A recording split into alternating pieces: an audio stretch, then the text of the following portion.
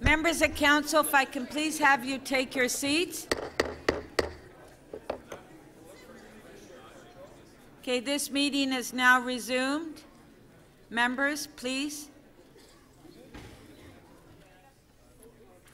Thank you. Members, we have a presentation uh, this morning to recognize the Toronto Wolfpack on the recent championship. I would like to call upon Mayor Tory to come forward for the presentation.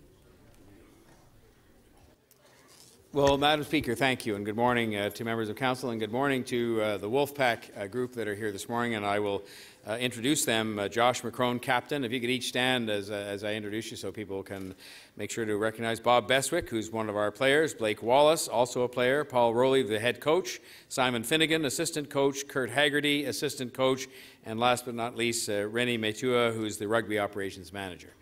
And, you know, I'll, tell you a story because really the story starts with Councillor Jaye Robinson. And, uh, Jaye, if you want to come up here, uh, Councillor, um, she um, said to me way back when, I guess it has to be at least two years ago, that there was this group that were forming up uh, a, a, rugby team for Toronto, and I'm sort of thinking, well, what, in what league are they going to play?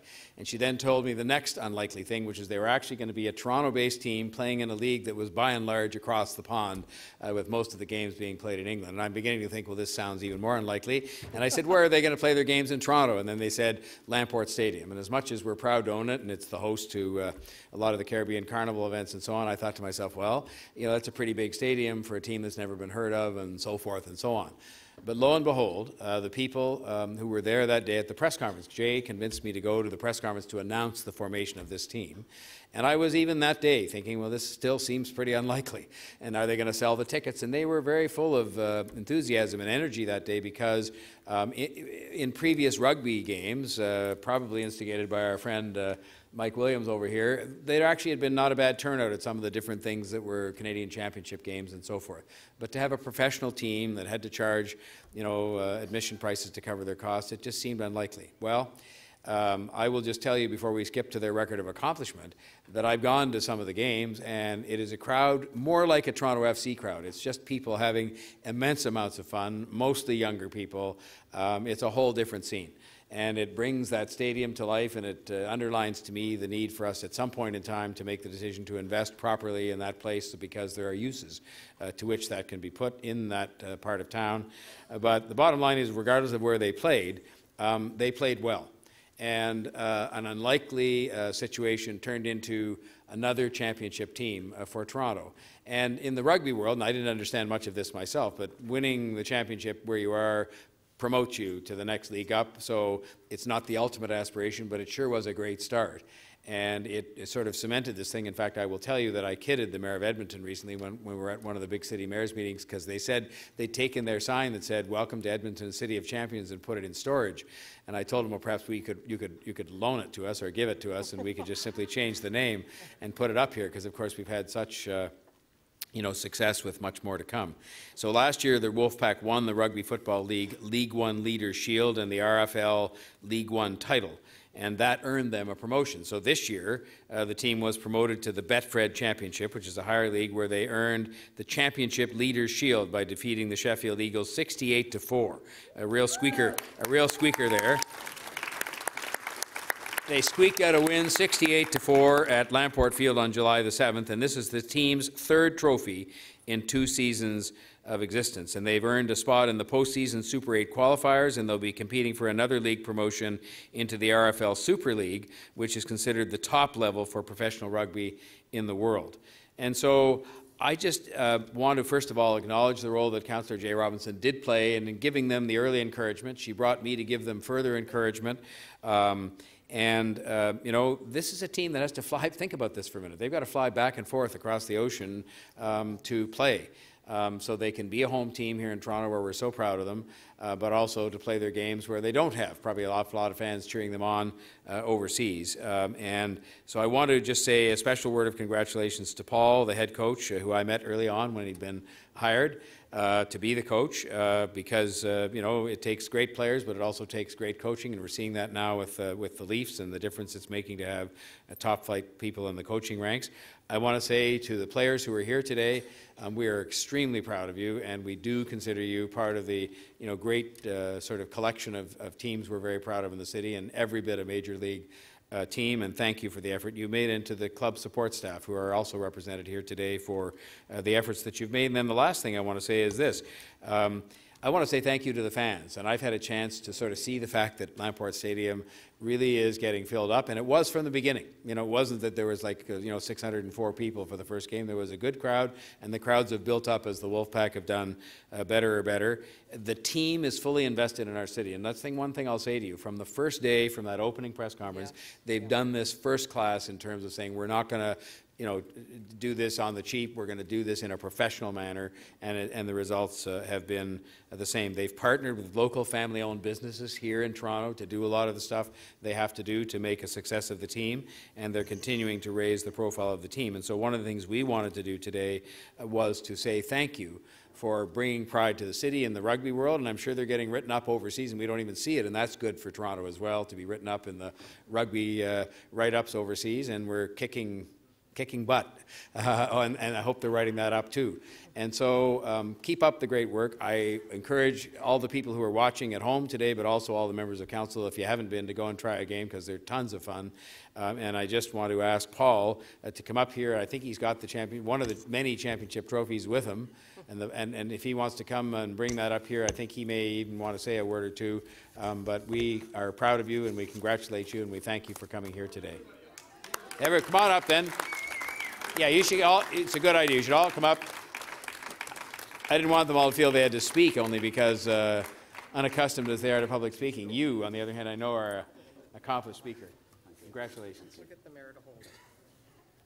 Do you want to hold it? So we'll just hold on. We'll all come, up, come on, every, the whole group right here together. Have you seen this guy's arms? Are you going to say a few words? Yeah. Out here. Uh, stand out here with the, with the trophy. Well, I'll just- Just to say a word after. all right, yeah. I'll pitch it. Come out here, guys. I'm not insulting this guy. Well, should we stay here? Should we stay here?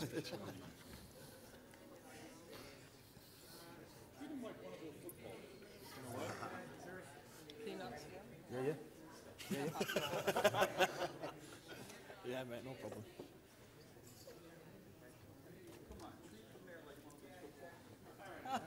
They want you to sort of knock me down and kick me around.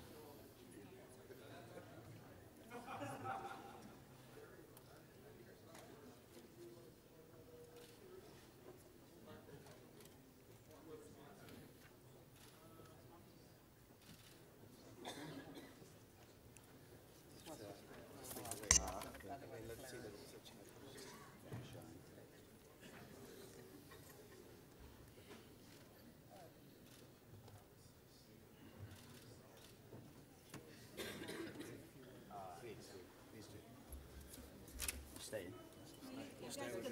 Yeah, yeah. Um, Mr Mayor and distinguished guests, just on behalf of Toronto Wolfpack, I think it's a huge pleasure to be invited here today. As Mr Mayor said, I was there at the press conference when we launched the thing and it was a very proud moment and this city's uh, continued to provide me and, and the team with, with proud moments and um, to be accepted uh, within the rich tapestry of Toronto sporting history and, and rub shoulders with your great sporting teams is, uh, is magnificent for us and, and very, very uh, proud achievement for, for our boys. So on behalf of the boys and all our staff, everybody on the field and off the field, uh, we'll continue to do our best and represent the city in uh, the best way we, we possibly can. But we thank you from the bottom of our heart for all the support and acceptance that, that you and your city have provided to me and my team. So thank you very much. Cheers.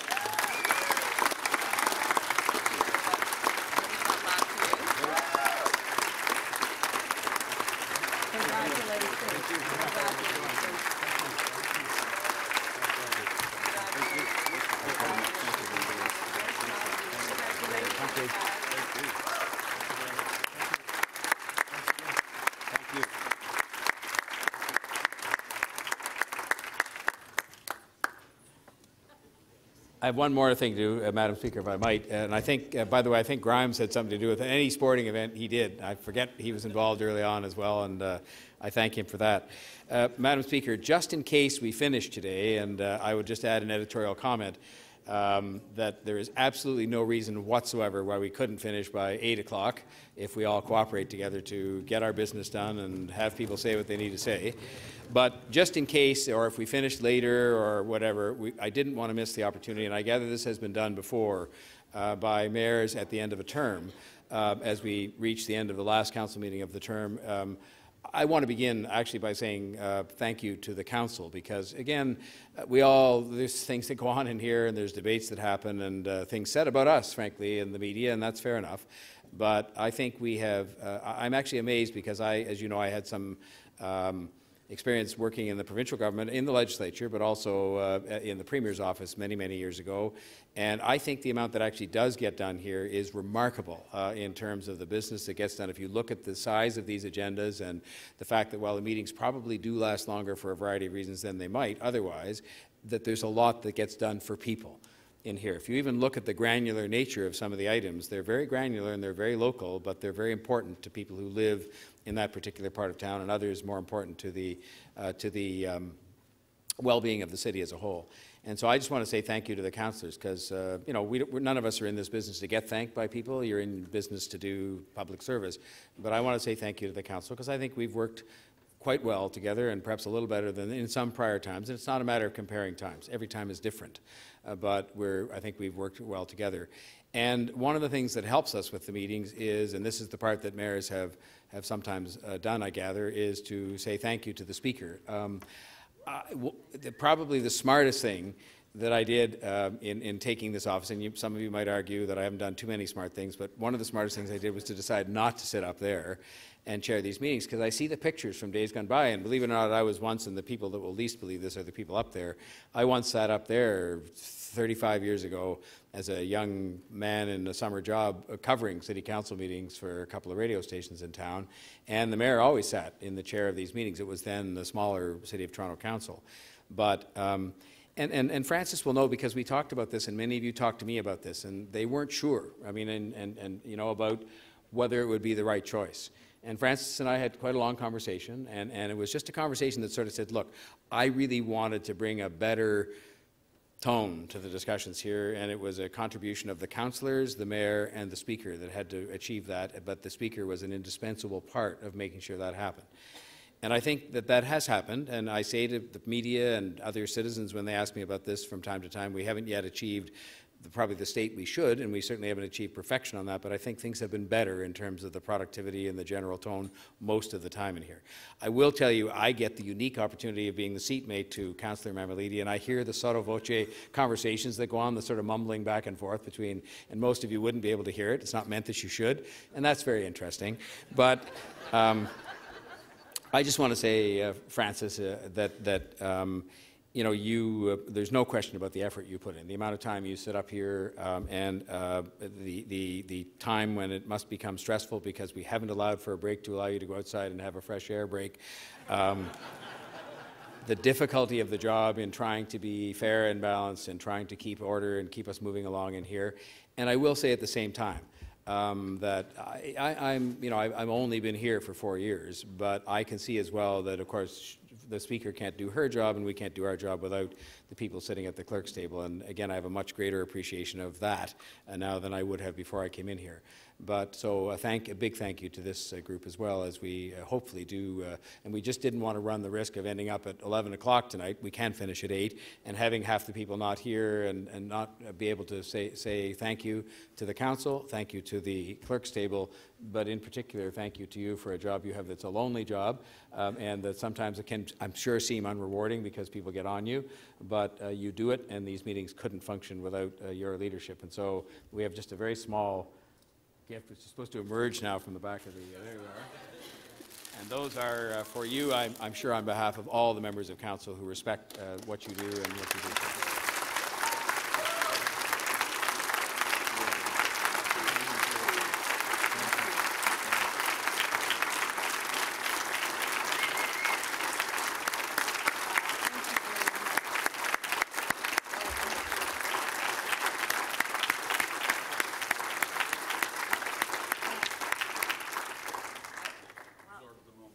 Thank you, Mr. Mayor. Thank you to members of council. And I'm surprised that Councillor Mammoliti stood up and applauded. But I, thank you. I didn't expect this, Mr. Mayor, for your kind words. But I want to thank members of council uh, for the past four years, the respect that you have given me as Speaker.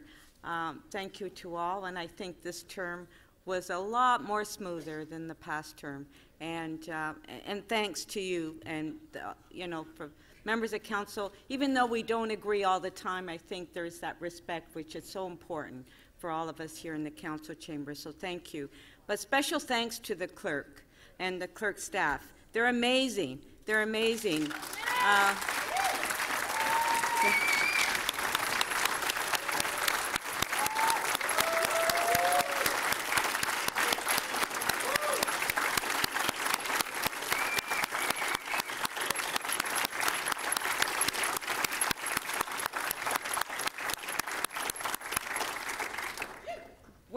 when, when, the clerk is trying to put forward these members' motions and amendments and, you know, put it all together, uh, you know, it's, it's very difficult. I can, I can tell that it's very difficult for them. So thank you very much for your support as well in the past four years. And thank you, Ulli, for this book on an everyday etiquette guide. And I, I'm not going to read the title. Uh, it's unparliamentary and I don't want to get tweeted.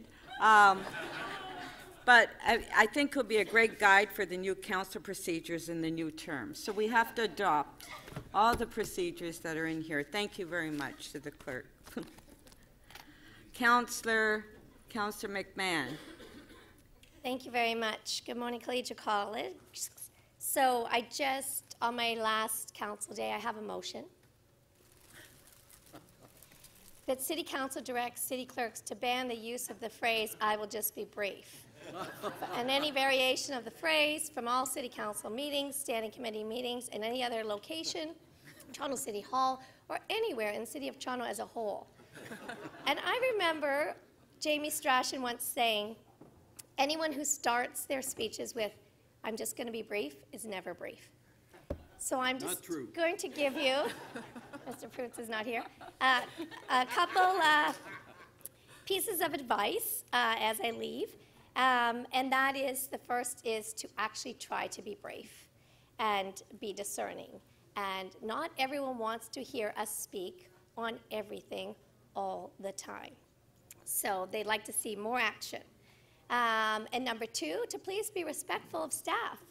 And even though um, sometimes we uh, disagree with them and vice versa, just to agree respectfully or disagree respectfully and professionally.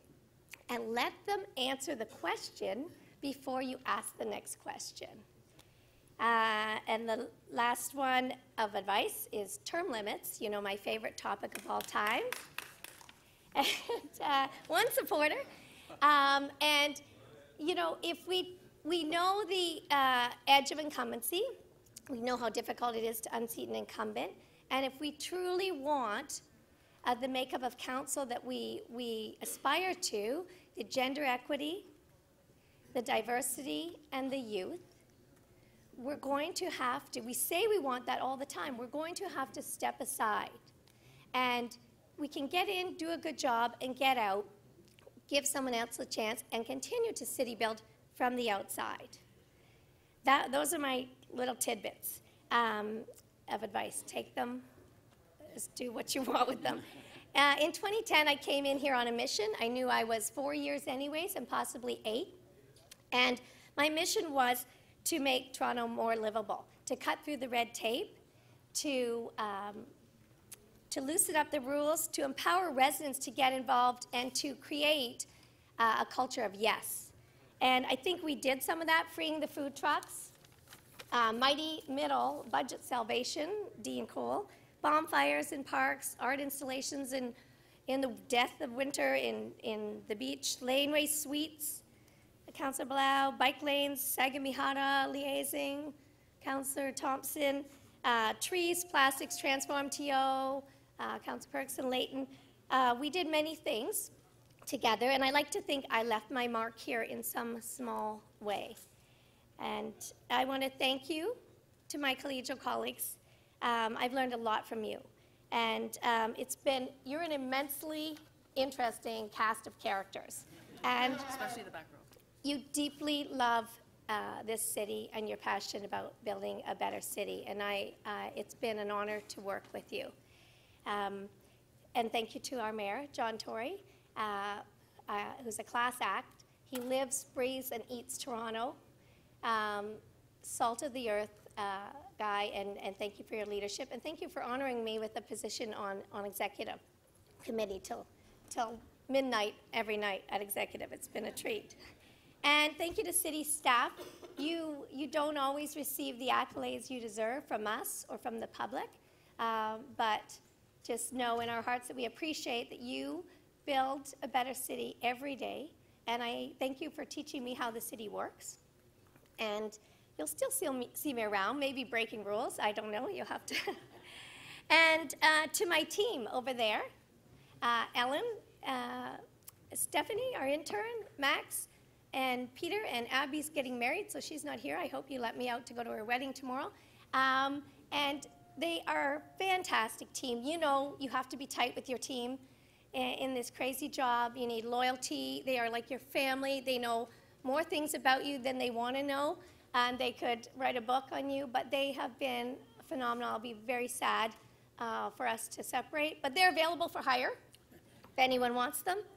And last but not least, to our speaker, um, Nunziata, Frances Nunziata, who has kept, kept the peace as best she can in here and um, uh, led by example. She's been fantastic. I do have, I will tell a story. When I first got in, the second day of council, Frances was yelling out, MM, MM, MM all the time in the afternoon. And I started to sweat and was wondering why I'm in so much trouble. And then I found out it was member motions, MM.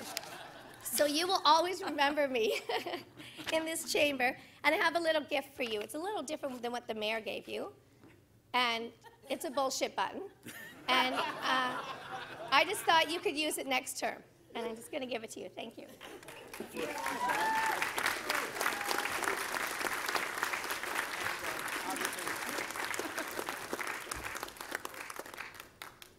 Everybody put on your helmets. Bullshit.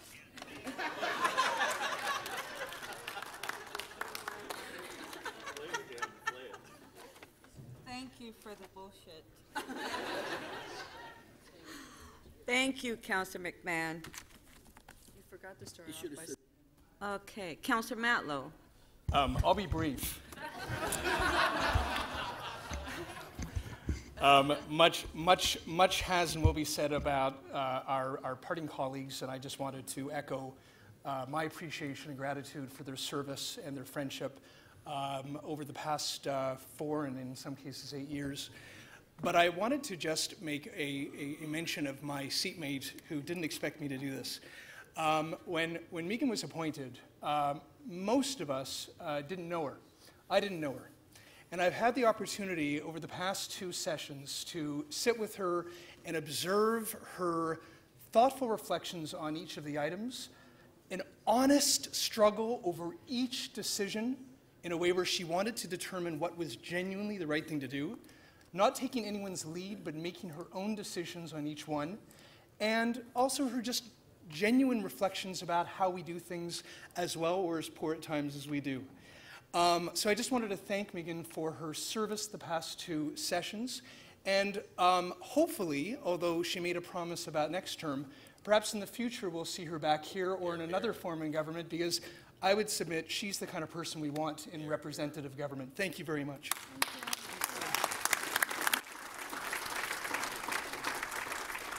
Thank, thank you very much. So members of council, we will now, oh, sorry, I, I didn't see your name there, sorry. Councillor Davis? Oh. Okay. So, I won't be brief. Have you ever? And I have a long, as usual. And I have a long speech. as usual. And I've researched it. Um, um, three, and it's a report request. Don't worry, that's not true.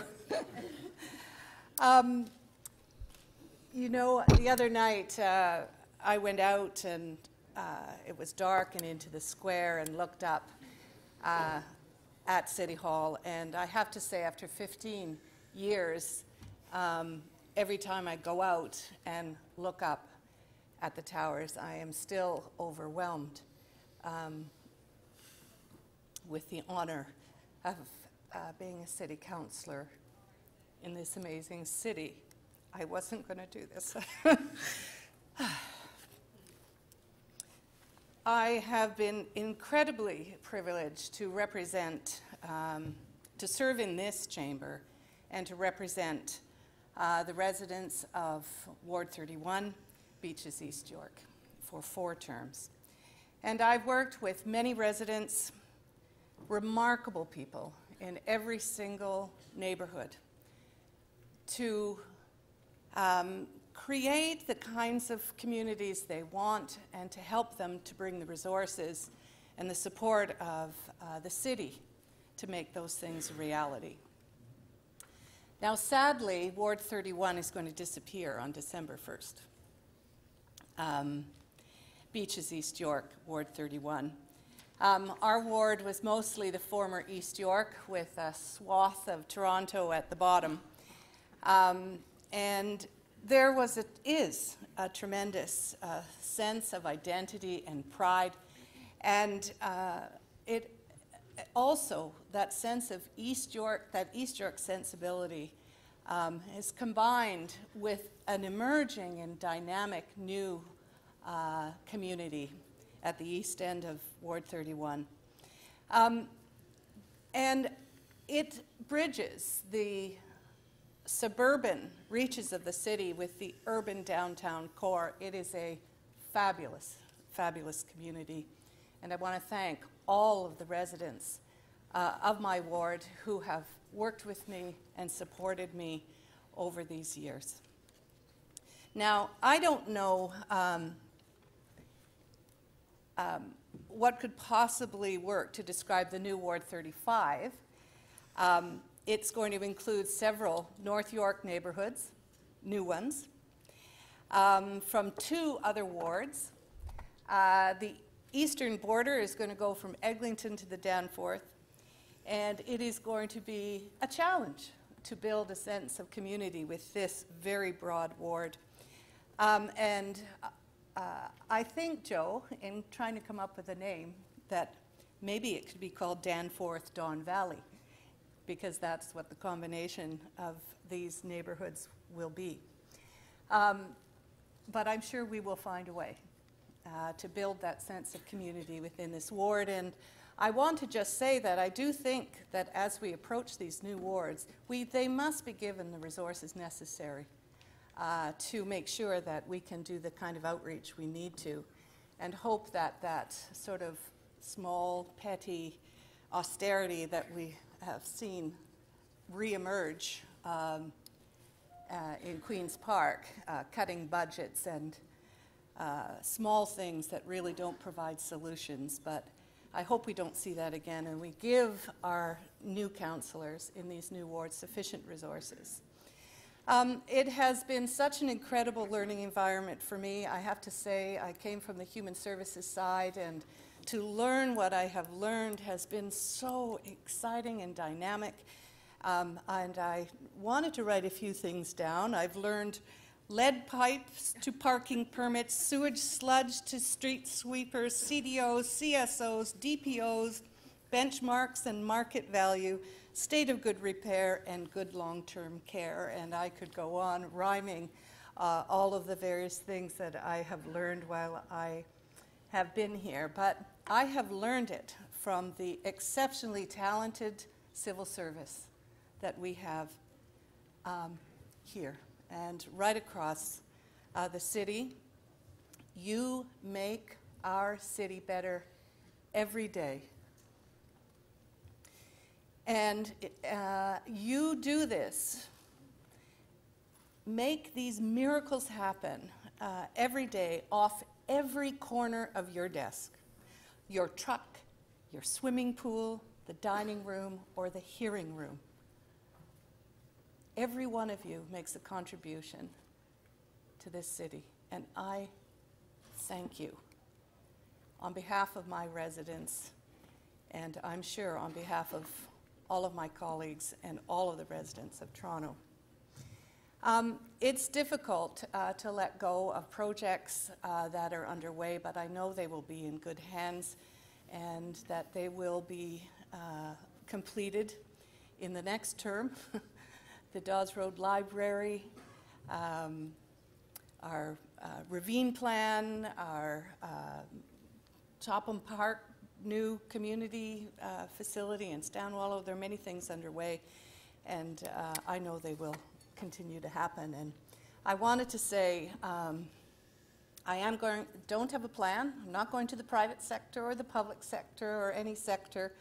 Um, I'm going out to uh, to take on things, though, that will have meaning and impact and will have opportunities for personal growth and learning and all the things that I know many of you around here would love to be doing um, who, that you haven't had time to do over many years. Uh, but you'll probably see me back here in, on some issue or another, I promise. um, but I too wanted to give you uh, uh, some parting words, and everyone has their list of 10. Uh, and I thought I would uh, highlight 10 things I've learned here. Uh, and um, they're serious too. Um, and I hope you'll take them uh, all as well meaning and, and uh, in good faith. Um, one, uh, the city has a fiscal sustainability problem, and we need leadership and courage to solve it. Uh, the pr province, two, the province and feds must respect the decisions we make here and give us the tax room and the jurisdiction we need. Rational transit planning has been sabotaged by politically motivated interventions at every level of government, and approving or changing transit plans should be prohibited. uh, should be prohibited uh, either during uh, election periods uh, or immediately before. Um, deepening poverty and growing inequality threaten our future success. And what we need is a deeper commitment and growing resources. Many councillors don't read their reports or budgets but they have strong opinions about them both. The mayor's office doesn't need more power, just more willingness to share it. Our city does many things very well. We just don't believe it or promote it. Our democracy is robust and healthy, but too often influenced by the powerful and the wealthy. We have plans that we are afraid to implement them. And 10, we need respect and caring every day in this city. Finally, I just want to recognize and thank my staff, who I think are down here Victoria, Jay, Laura, Leah. Yeah. Who um, who solve problems and assist our residents every single day and uh, make a huge difference um, in the lives of our residents. So, um, thank you for all your support over all these years. And uh, I look forward um, to uh, engaging in life outside these chambers to make sure that we bring into these chambers changes that will continue to improve the lives of Toronto residents. Thank you so much. And I do want to acknowledge uh, Mr. Mayor, thank you uh, for your leadership here and to the speaker. Um, it's been a blast. We haven't always uh, agreed. Um, I've tended to share my opinion with you too frequently uh, from my seat, um, and for that I do apologize. It's my lively and engaging manner that uh, tends to uh, have me not check my impulses uh, when it comes to offering my views to you and to others. So, for that, and to all of my colleagues, um, when I have uh, expressed my views to you from my seat, um, it has always been with good intent. Um, thank you very much. Thank you, Councillor Davis.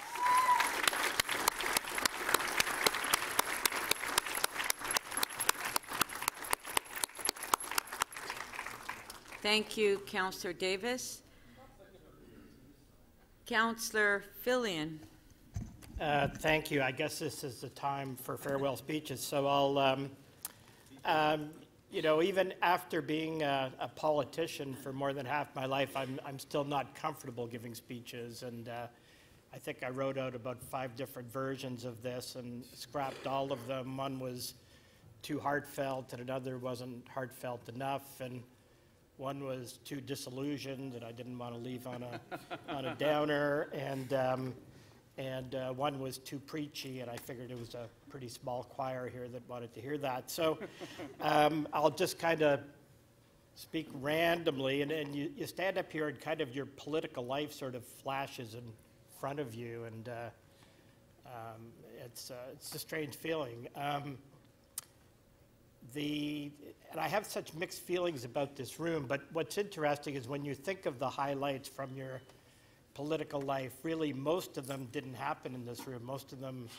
when you think about it, are out in the, in the community. And, um, um, and those are the things, you know, I think you probably feel happiest about or proudest about when you leave uh, the new recreation center or park or childcare center um, cultural festival that maybe wouldn't have existed without you, and uh, that those things kind of live on in the community. Um, this this place, I have such a love-hate relationship with it. Um, probably uh, good time to leave. Um, you know. Uh, uh, on the one hand, to, I'll just dwell on the, the love. Uh, the love part of it is, um, I, you know, I'm uh, maybe too much of an idealist, but uh, I just love the ideal that the community, you know, 44, soon to be 47 communities across the city come together and choose somebody to come down here and represent them. And we all sit here and we're surrounded by professional and wise advisors, and we try to, you know, come together to do what's uh, um, in the common good. It's just such a marvelous concept, and to be uh, part of a small number of people who get to do that in a city like Toronto, like, what better job could you ever have, you know? So, um, know, so I will really miss this place because there are times when all of that comes together and it's really magic, and we've all we've all experienced that. We've also experienced the heartbreak when it uh, when it doesn't happen. Um, you kind of wonder what you know what relationships continue after you leave this place, and I guess I'll find out. But I know that. Uh, um, you know, a lot of times you, it's like, it's, we all have this strange bond together, you know, it's like you're, you're on this strange journey together and, and, uh, you know, you become, you become close with people because you sit near them and again, you're on this, this uh, trip together and, and uh, I always think of Rob Ford when, when I um, think of unusual friendships and my friendship with, with him was so unusual I had to write two chapters to try to explain it. But uh, um, you know, I, I actually still miss Rob as the guy who sat two seats away from me and uh, was just looking for uh, somebody to, to make football bets with, you know, and that's, uh, we see all kinds of sides of each other in here, not just the politician, but the uh, people, and especially those who are sitting close to you. You really get to know them as people. So I will, um, I will miss all of that. Um, you also form some close friendships, and I've been very fortunate to have two close friends sitting on, on either side of me. Um, I will miss a lot of the staff in this building and, and uh, in the North York Civic Center, the staff in my office, but there's still four more months to work with all of those people, so I'll say goodbye to them later as, um, and the same with um, individuals in the, in the Willowdale community who I'll uh, be seeing a lot of over the next few months and will continue to uh, work with, especially on Transform Yonge. Um, but I just want to sort of end with a collective thank you to the people of Willowdale um, who have supported me over um, 11 elections. Um, earlier this year, in April, we all got to see what kind of a community uh, Willowdale is and the sort of people who live there. Um, and that's, that's been the case for 36 years. And um, different people now, though some of them are still the same. But it's really just um, um, wonderful community. And, um, and I felt very privileged to have had this job representing them for all these years.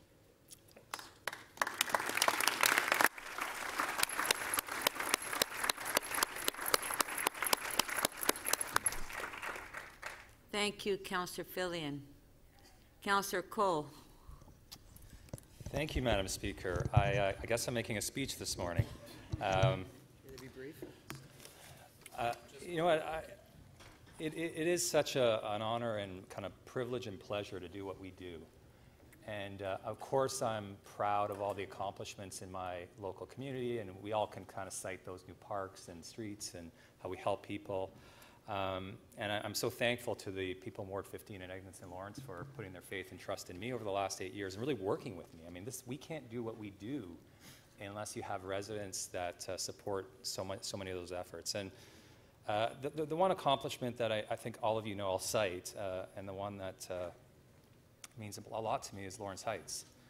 Uh, and just to see it actually come out of the ground now, it shows you what we can do in this place and how we can help people. And I'll, I'll make a bit of a plea for Lawrence Heights as I leave. Uh, you know, we say it's a citywide project, and I don't want to get into the kind of comparison politics, but it still needs help from this council. It doesn't have the aquatic centers and the, the recreation centers and that investment from this building that we've seen in other revitalizations. And so while it's going to be a stunning success and it's going to uh, repair people's lives and make a neighborhood and a, I think our city so much better, uh, it needs continuing support from this chamber. And so my plea to you is to is to truly make it a citywide priority, and it's one that I know uh, you'll all be proud of for having supported when uh, the, when it becomes reality. And in fact, uh, people are moving in in the fall into the new building, so I encourage you all to be there for that ribbon, ribbon cutting. It'll be a special one. Uh, I, I want to thank you all for supporting my work as chair of the TTC. I sometimes wonder why I put my hand up for that job. Um, but you know, talk about learning a lot. Ho- holy smokes, things you would never, issues you would never imagine. And so, after hundreds of hours, I hope I've, left the organization in better shape. But I'd also just say that you know, you, you see me all uh, with the mayor often at these press conferences announcing these accomplishments. It, it's true. We've added a tremendous amount of service to the city and improved transit in the city over the last four years. And so while I'm, I can be there to cut the ribbon and announce it, it's because this council has invested in transit. And so sometimes we're hard on ourselves on that front, but really it's been year after year investments. Every, every TTC board meeting for the fellow commissioners here, we get to announce procurements, expansion work is, is, is uh, advancing, hundreds and hundreds of buses, new streetcars, new subways. And we're only able to do that because of all of you and your commitment to public transit. And so I think that's something that we've got to maybe talk about a little more. And certainly I'm proud to have been at the helm of the TTC during those days. And I, I truly believe that people who use transit in the city are better off because of it, and, and the city's better off because of it. I, I want to touch on a, a couple city issues. Maybe um, this may not may be my last speech, but hopefully will be done today. Sometimes I worry that there are two cities still in Toronto. Um, and I'm, I'm in a ward where I kind of straddle that fence. You know, down south of Eglinton, it's a bit more the politics, the urban form, the issues are a bit more urban. As I move up towards the old North York to the 401, it becomes more suburban.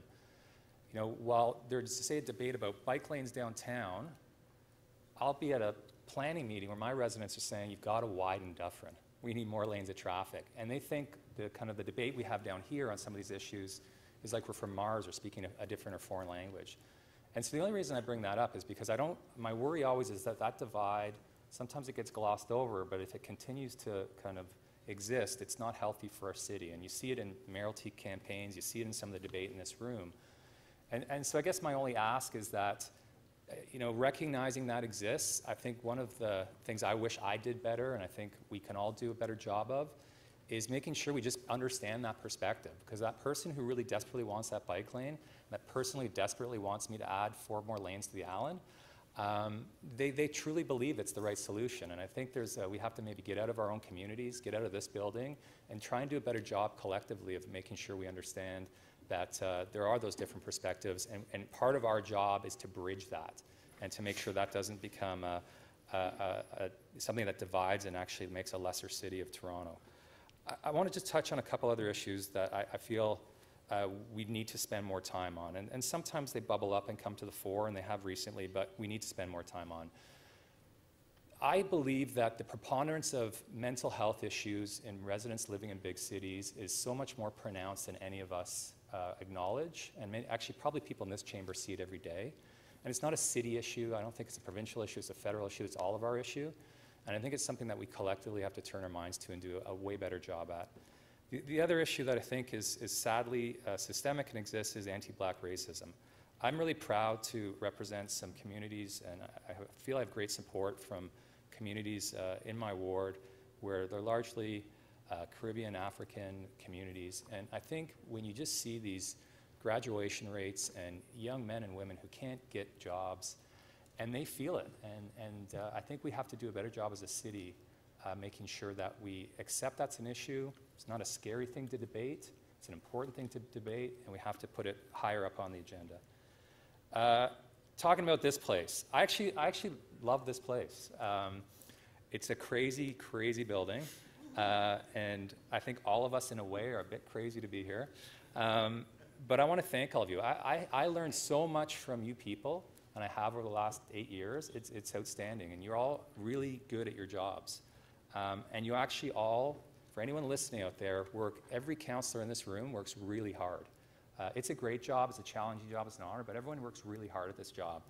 And, and there's often this, you know, they talk about, oh, City Hall is a circus and it's crazy. Has anyone ever been to the provincial legislature? Go, go sit there for one hour, or even in Ottawa. It is just catcalls, desk banging, uh, and, and speaking points. Nothing actually gets done there. This is where we actually are forced to collaborate. And yes, people say the sausage making all happens out in the open, so it looks messy. But in fact, we have to collaborate. You have to get 23 type A personalities to agree on any single one issue. And so I actually think we're more civil here, we're more productive here, and we should actually be proud and not denigrate ourselves and what this chamber does, because I think we do amazing work every day. The other, the other thing I just would observe about us and here and how we act, I sometimes wonder why we feel we have to knock each other down to advance uh, our, our, our, goals, whether political or how we, how we want to help our communities. Because in fact, it in no way advances your efforts. Uh, we're not bound by some of the confines of party systems down here. And so, I, and i have been guilty of it too, and I just, I just sometimes wonder why, and maybe that's just, you know, it's just bred into politics and we feel we have to do it. But I certainly think there can be a lot less of that in this chamber, and I think we'd be a lot uh, more productive if there was.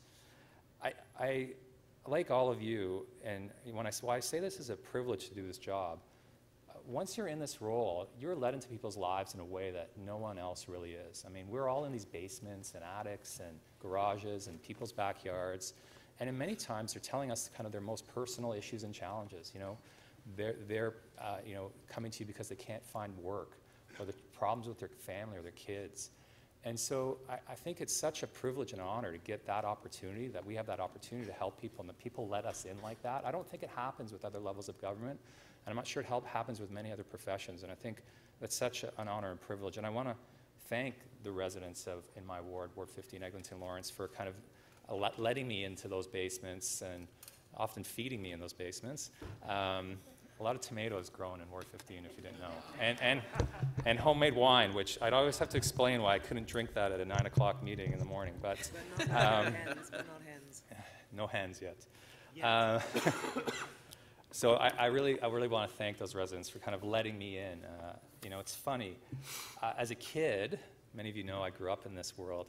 I hated this job, and I would always be asked, "When are you going to run? When are you going to?" I was like, "Never. I hate this. I hate this job." So it's kind of I always laugh that I'm here and enjoying it so much, after saying I would never do it. I, I we can only do these jobs with uh, a lot of people who support us, and certainly I think my staff are here. If they could all wave. Um, they have to answer the calls. They deal with the frequent flyers, um, some of the issues they deal with, and, and they're, they're like um, they're, they're, it's, uh, it's social it's social service work that they really do. It's uh, um, and they do amazing, and they do amazing work. So thank you all of you for the work you've done to support my efforts. Of course, thanks to my residents. Thank you to my family uh, who uh, uh, put up with this crazy job. My my kids, I think, think it's really cool. My wife, not as much, uh, but as we all know, it's, it, none of us could do the work we do and give to the city and our communities if we didn't have that support at home. And so I'll just lastly say, uh, you know, I, I love this city. I, I think this is the greatest city on the planet. I don't think we say that enough. Um, and I think that it is a greater city because of the work we do in this chamber. And so I hope I've uh, contributed to making it a greater city in some small way. And I want to thank everyone here. Uh, thank you for uh, letting me serve for the last eight, to my residents for letting me serve for the last eight years. And who knows, maybe I'll see you back here again one day. Thank you.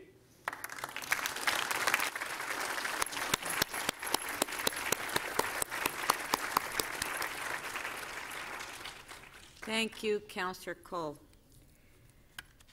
Members of council, we will now review and confirm the order paper. There are 61 items left on the agenda. One last question. No, Councillor I forgot to do uh, something. And this is a gift. It's appropriately wrapped in a Christmas bag.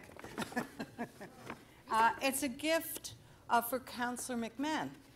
And it actually um, was a gift that um, someone gave to me, to me, that I'm going to regift. Um, because I think she may need it. And uh, although maybe not, she's pretty good at this. And I'm going to just demonstrate it for you. Come here, counselor. Okay. I probably shouldn't promote a, a commercial product. I'll cover the name. Uh, uh, but it's called Extra Loud.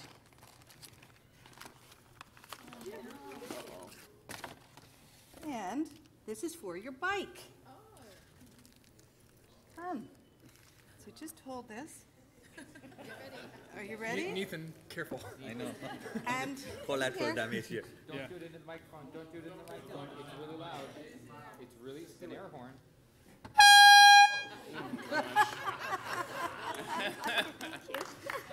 So that's to make sure you can continue to, so that Councillor McMahon can continue to toot her horn and stay safer on the road.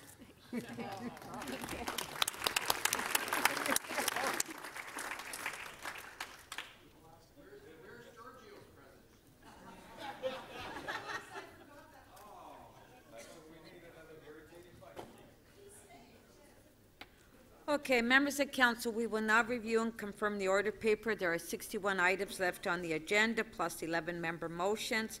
Our first item of business this morning is item EX 35.14 on the Toronto Hydro audited financial statements. I will now take the release of holds. Please put your name under request to question staff. Councillor Mihevc. Uh, Yes, thank you very much. Um, Madam Speaker, on page four, GM 29.21, um, having spoken to staff uh, and had a very good briefing with them, I'm now uh, convinced that they are going in the right direction, and so I'm ready to release it, but in order to release it, I have to withdraw my motion that I had submitted. Okay, so Count, uh, Councillor Mihevc would like to withdraw his previous, uh, motion on favor, carried, and you're just moving the item? It's- it's- Yeah, whatever executive. Okay, thank Yeah, you. I'm- On the item, on favor, carried. Councillor Mammoliti. Uh, Madam Speaker, I got a few that I want to release. Um, there's a bit of anger that's built up in my community, and I've got to be uh, there, I think, this afternoon for many of the discussions, uh, given the, the shooting yesterday on Islington Avenue. So I'd hope uh, we can have some patience here. I just want, on some of them, I just want to vote against. So uh, on Executive Committee uh, 36.26, we're in the middle of that dialogue, right? So there's nothing I can do with that. I've moved the motion. I'll just leave it at that. Okay, so you're releasing that and you want a recorded vote? I, I think we're in the middle of a debate with that one. I'm not sure if I'm allowed to. I held it, but we're in the middle of a debate. Yeah, I know, I think that we were in the middle of questions and uh, speakers. On page four, Yeah, no, just, just one sec, I just want, so, on this one here, before we, we release this one, I think that we did, we did have some speakers on it. yeah, yeah, so the, I, Okay. No, okay. Yes, okay? page four, um, GM twenty-nine point one five. Uh, I did want to move a motion, but I'll, I'll just leave it alone, and I'll just, uh, I'll just move, move the, uh, the recommendation. Recorded vote. That's okay. Okay, recorded vote on page four, GM twenty-nine fifteen. Yes, we are having a recorded vote. It's on the screen, recorded vote.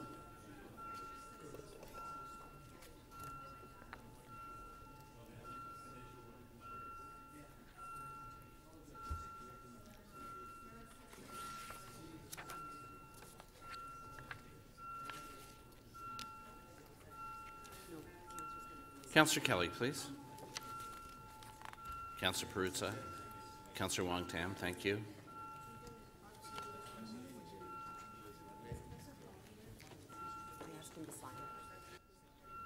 Councillor Perruzza, your vote, please.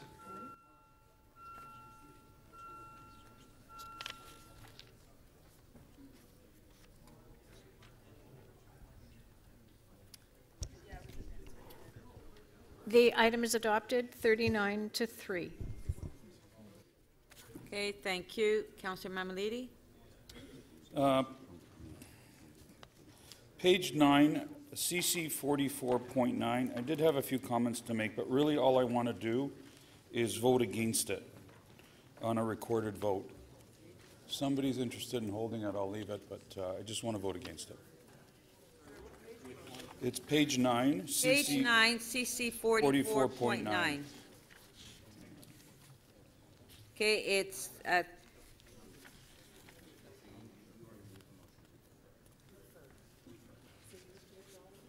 Um, I won't be here to debate the referral. I'd like to refer it, but I won't be here to debate the referral most likely, so I just want to vote against it, yeah.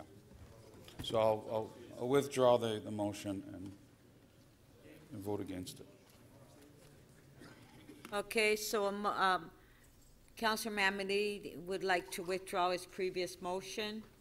On favor, carried. So, on the item recorded vote,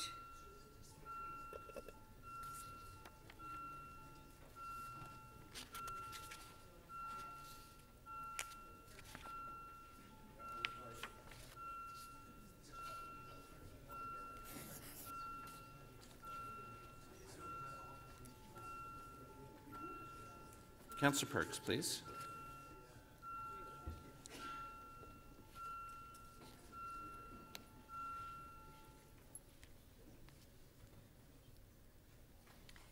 The item is adopted, 40 to 2. Councillor Mammoliti? Uh, Page nine, CC forty-four point one nine. Uh, Again, uh, I'd, I'd just like to vote against this. It's up to someone else if they want to keep holding it. Page nine, CC forty-four point nineteen. Counselor Mammoliti would like to release it. It's on the screen, Recorded vote, please. recorded vote.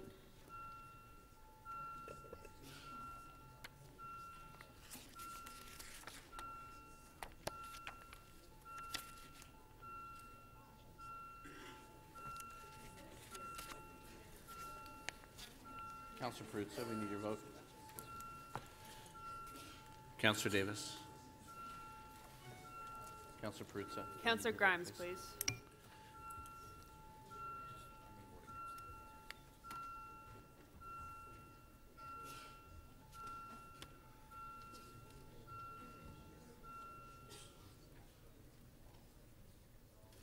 The item is adopted, 41 to 1.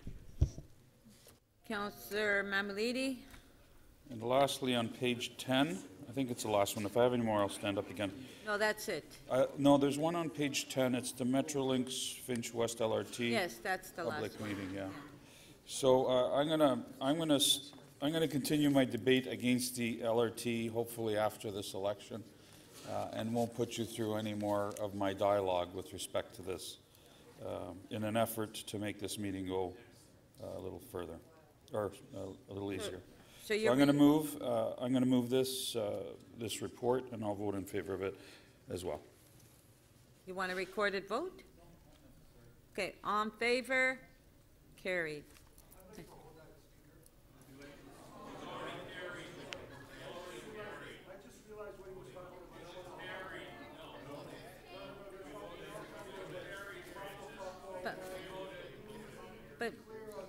Yeah, but Count, Councillor Perruzza.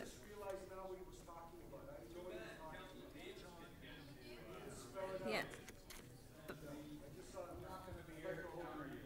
But it was on the, sc- it's on, Councillor Perruzza, it was on the screen. Okay, Councillor Perruzza, the only thing I can do is ask for a member to move a motion to reopen.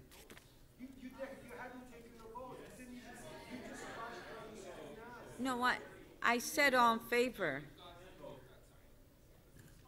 Councillor Davis is moving to reopen.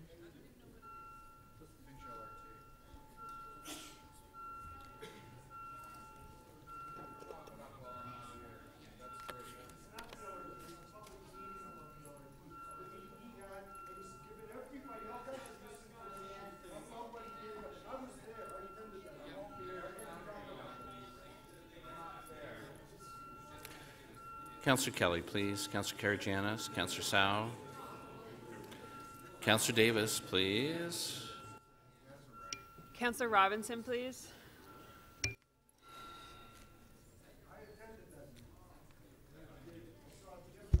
The motion to reopen does not carry. The vote is 27 to 15. The required two-thirds majority has not been achieved. Councillor Cressy. Let him continue his BS with that and feed you all of that. Okay. Okay, come on, please. Time, Giorgio. Please. Guys, guys, honestly, let's I'm all. right here. Ugh. Councillor Mammoliti, please. Come on. No, uh, Councillor, no, Councillor Mammoliti and Councillor Perruzza, please. Okay. Uh, i- If I could, Speaker, on page nine, item CC 44 44.5, 698, Councillor Memlady, sorry, uh, page nine, CC 44.5, 698 Spadina Avenue, uh, I can release that item, uh, and connected with that item, because I'll be releasing both of them, is item CC 44.25, which is also 698 to 706 Spadina Avenue. So I can release those two. Okay. On page nine, CC forty-four point five, Councillor Cressy is releasing. In favor? Carried. On page nine, CC forty-four twenty-five, Councillor Cressy is releasing. In favor? Carried. Councillor Cressy? And I have another one which I can release, which is on page 10, item CC 44.41, 150 to 158 Pearl Street and 15 Duncan Street zoning amendment application request for directions. Uh, I can move the recommendations contained in the supplementary report. Uh, That was circulated yesterday, and so with that, I can release it. On page 10, CC 4441, Councillor Cressy is releasing. It's on the screen, the amendment. In favor? Carried. Item as amended. In favor? Carried. Councillor Di Ciano. Thank you, Madam Speaker. Um, EY 32.3. What page? Page 6. EY 32.3, final report for 5365 Dundas Street West. I have an amendment uh, that staff worked with uh, over the last few days. If we can, is that ready? My understanding it is. It's uh, not ready. Okay, we'll, we'll hold, hold it down for a little longer. Okay. Counselor Bailão. Yes, Madam Speaker, on page six, EY 3277, I had some questions that I got answered from staff. Councillor uh, Palacio moved a s- an advanced circulated amendment, which uh, responds to my concerns, so uh, if we can post that, we can release it as a quick item. Okay, Counselor Holyday. Okay, so I'll questions. continue to hold it. On page, um, Six. on page 11, I can release, well, I- if we can vote on MM 44-122, that could be done as well. What's the subject? What's the subject? Okay, Uh, Appeal Tribunal hearing. okay, so we'll put it on the screen. On page 11, MM 44-122, Counselor Bailão just moving. It's a member's motion. Recorded vote.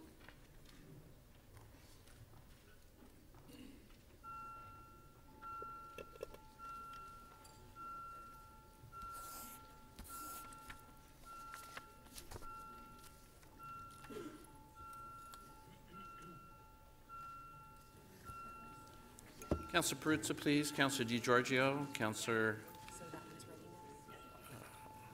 Davis, please. Councillor Thompson, please. Councillor Mammoliti, please. Councillor Crawford. Councillor McMahon and Councillor Di Giorgio, please.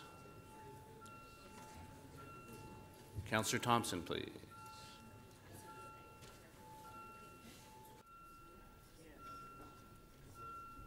Councillor Pasternak, when you're seated, please.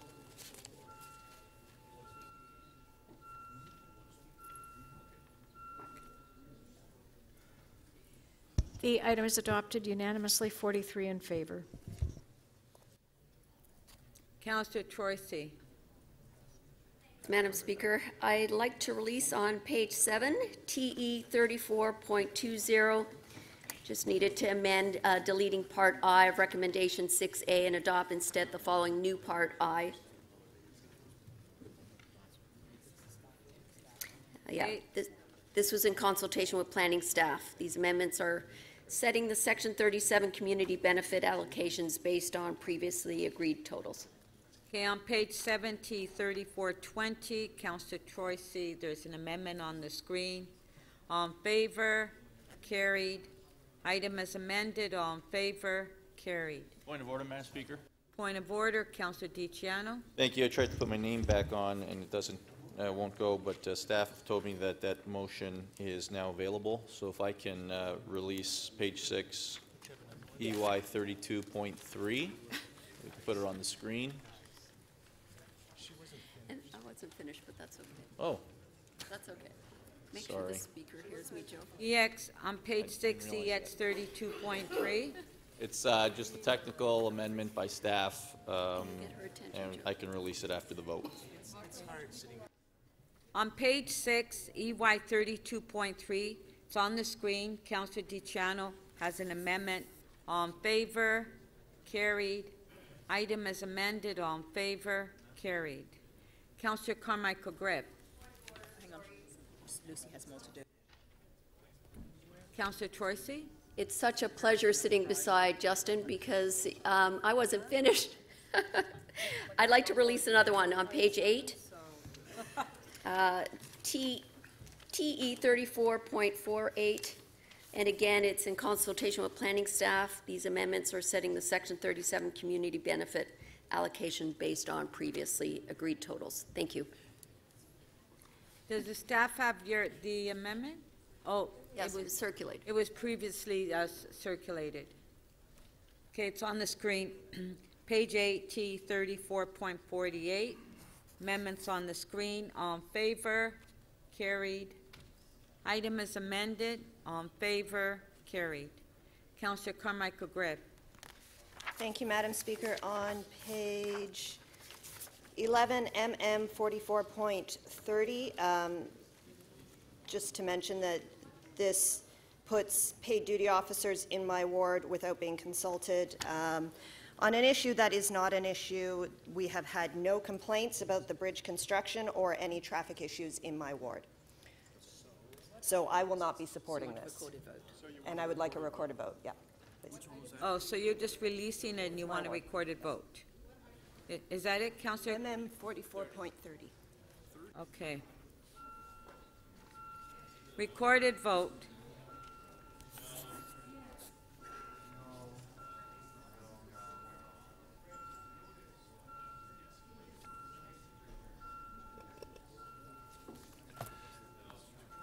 Counselor Perruzza, please. Counselor Giorgio. Counselor Layton. Counselor Shiner, please.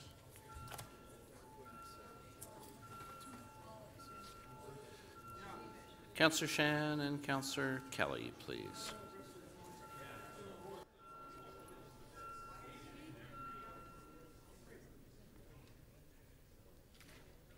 The item does not carry. The vote is 10 to 32. Councillor Matlow. Pardon? No, no, just a sec, just a sec, just a sec, Councillor Matlow. I, I'm sorry, Councillor Thompson, what, Thank you, Speaker. I had voted yes for that, but I actually meant to vote no, and I was wondering if we'd reopen, please. okay. So Councillor Perks is reopening that previous item Moving all these papers. because he voted incorrectly. All in favor of reopening? Carried. Okay, so let's do the vote over.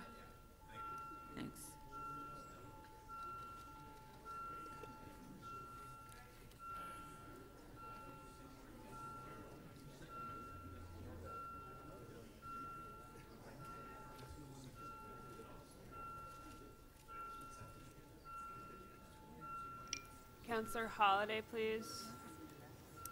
Councillor Perruzza, please. Councillor Shan, Councillor Sao, please.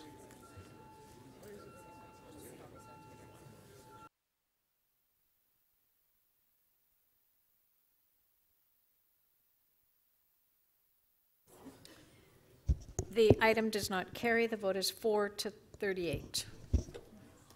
Like you were just doing. Counselor Matlow.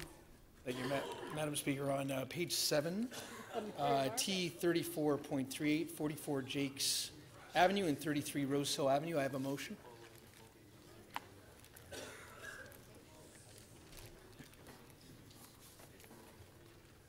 Okay, on page 70, 34.38, Counselor Matlow has a motion.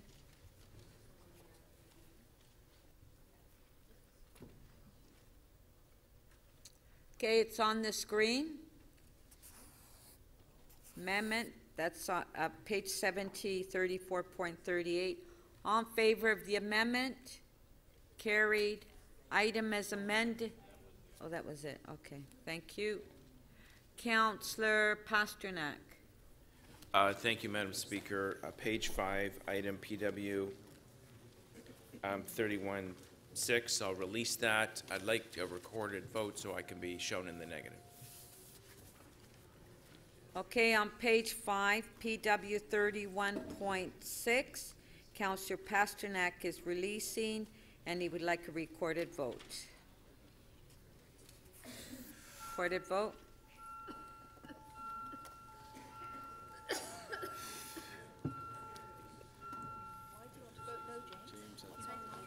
Sole source, and I've got people who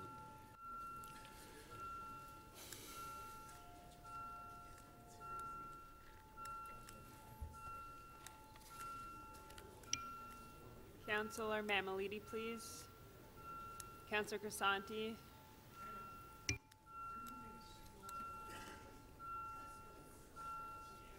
Councillor Perruzza, please.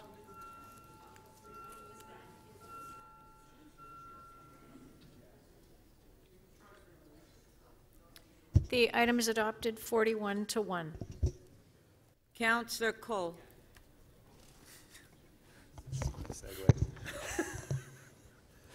Um, Thank you, Madam Speaker. On page number five, PG 31.8, uh, city planning staff have um, written up a motion for me, um, and it just uses, you can clearly see the words "consider adding" are there.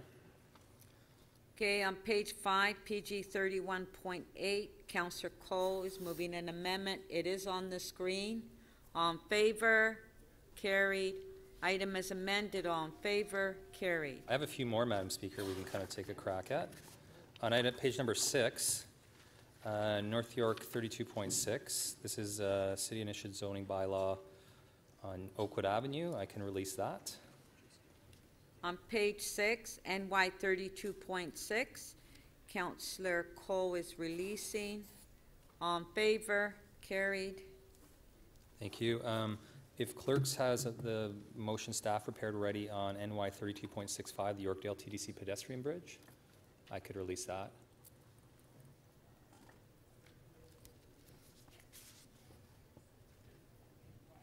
Okay, if we can put it on the screen, page six, NY thirty-two sixty-five. Councillor Colle has an amendment, it's on the screen, on favor, carried. Item is amended, on favor, carried. No. We're- Thank you, Madam Speaker. Do you actually bring Thank you. Councillor Perks. Thank you. Um, I had held an Etobicoke York item in Ward 7. Since the counselor's on his way back to his ward, I thought I could release it. I just have to find the number. Uh, Page 6.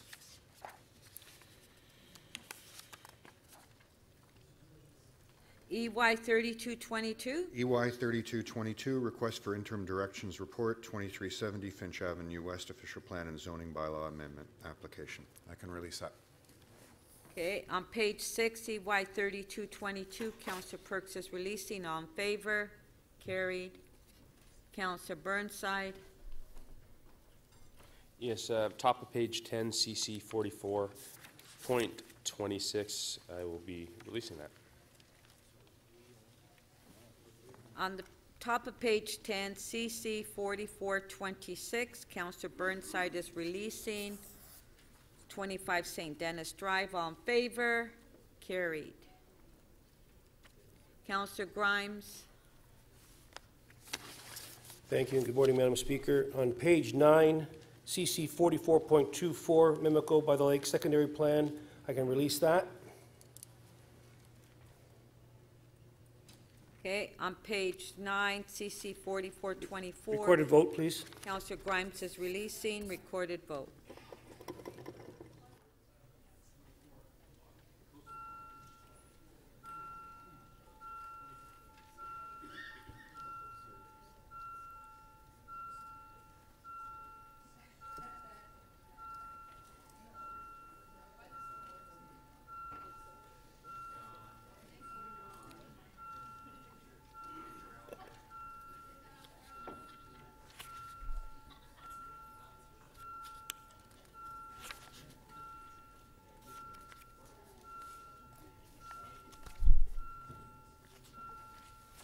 Counselor Thompson, please, and Counselor Perruzza.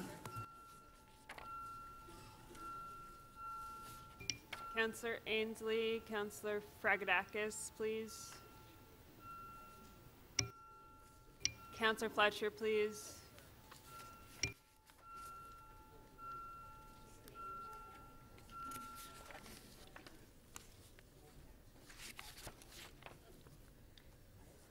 The item carries unanimously, 43 in favor. Thank you. Counselor Grimes? And, Madam Speaker, on page 11, MM 44124, request for enhanced park maintenance Humber Bay Shores, I'd be happy to just move that. That was an added uh, yesterday. Okay, on page eleven, MM forty-four one twenty-four, Counselor Grimes is moving, all in favor, carried. Counselor Wong Tam? Thank you very much, Madam Speaker. On page 10, CC 44.32, request for federal data on refugee asylum claimants in Toronto shelter system. I would like to release that, please. I'm sorry, I I didn't hear. You want to release it? Uh, Yes, thank you. Okay, on page 10, CC 4432, Councillor Wong Tam is releasing. On favor, carried. Councillor Fletcher. Counselor Fletcher. I'm sorry. I'm apology, I'm apologizing, not quite. Is that on the, uh, the releasing? Oh, yeah, I'm releasing that. I'm just going to release page three. I'm going to release the um, one we were discussing yesterday on the reference checks, because I had a conversation with the uh, city manager, and that's EX 36.45, police reference checks. She's assured me that new people, they'll, will be going very quickly. Okay, thank you. On page three, EX 36.45, Counselor Fletcher is releasing. On favor, carried. Counselor Holyday. Uh, Yes, Coun- um, uh, D- uh, Deputy Mayor Bailão uh, used her, uh, her opportunity there, so I'll, I'll call it out. EY 32.77 on page six. I'm okay with it if. Oh, no, if- hold on, hold on. I- But it's her hold. No, hold on. I, I, I didn't realize that Counselor Fletcher had more. Sorry. Vote on that last one? Yes. Oh, okay. Then we'll go to, uh, pa- did I do well? Thanks, Glenn. Page eight, TE thirty-four, two hundred and thirteen. Vision, Vision Zero recommendations from ward councillors, uh, and I'll release that. Then I'll continue holding. Now I'm good. Thank you. Okay. Counselor Holyday? Um, EY 32.77 on page six. It's actually held by Councillor uh, Bailão. Yes? Okay. All right, so on page six, EY thirty-two seventy-seven for Rogers and Boone Avenue. So Counselor Bailão, there's a motion. Put it on the screen. Counselor uh, Palacio, you have an issue with it? You have a motion too?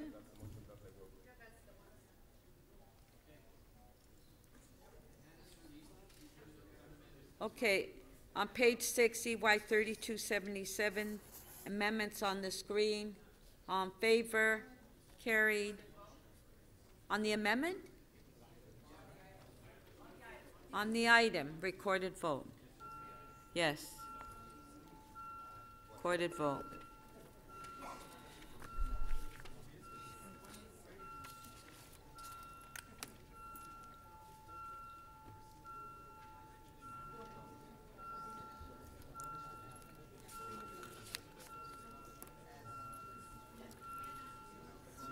Councillor Perruzza, please, your vote. Councillor McMahon, Councillor Layton.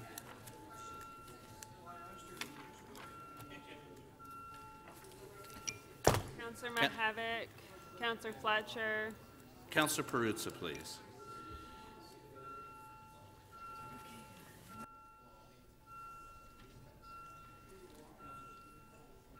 Councillor Perruzza, we close the vote. Can you tell me verbally how you voted, please?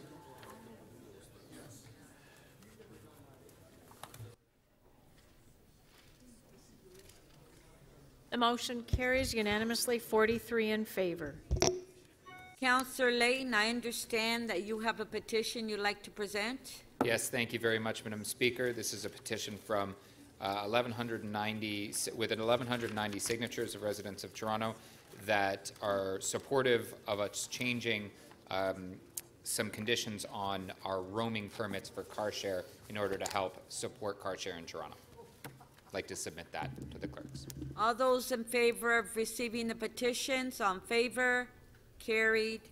All those in favor of adopting the order paper, on favor, carried. Okay, so we'll go to our timed item, which is on page three, EX thirty-five point fourteen. So we need a motion to go in camera? Well, somebody told me they wanted to go in camera.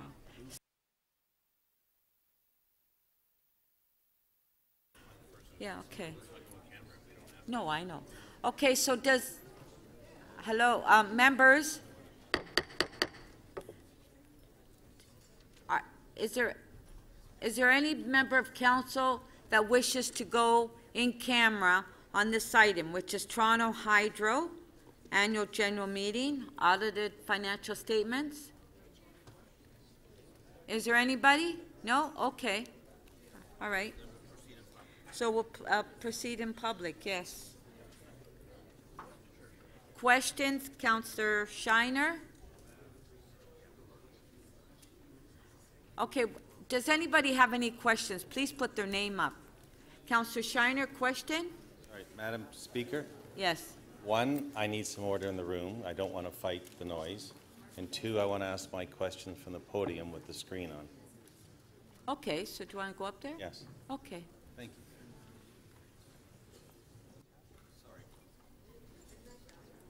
Just a sec. Just a sec.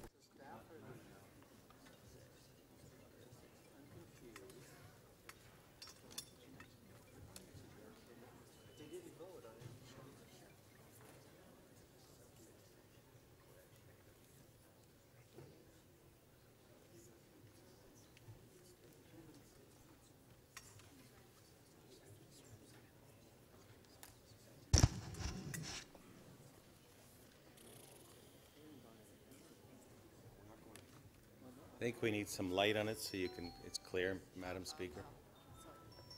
And I don't know how to work the machine.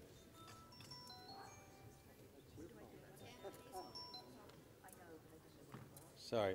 Okay, Counselor Shiner, you ready? Well, I'm just trying to get this clear on the screen. After 27 years, my eyes get a little tired in council.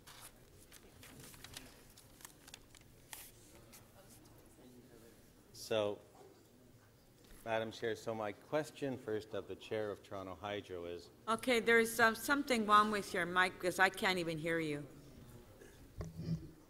is this any better? Yeah, that's better. Okay, so my question is of the Chair of Toronto Hydro. This is a document that we have in front of Executive Committee that's here today, and it shows a total compensation for the President and CEO at one million eighty-seven thousand. Is that his total compensation? Uh, That's my understanding, Counselor. So in the public disclosures that go out, which is why I can ask this in public, it talks about additional benefits that accrue every year to the president and CEO. I believe this year it was a tune of $350,000. Why is that not part of the disclosure information to Toronto City Council as the shareholder?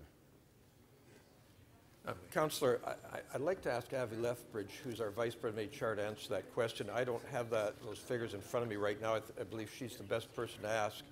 Um, Okay, we, yes, okay, Counselor Fletcher, hold on. Madam Speaker, if you could hold my time, I've, I've I, I am holding your time. I, there's something wrong, we can't hear you. Can't hear me? I'm sorry, No. I got the mic on.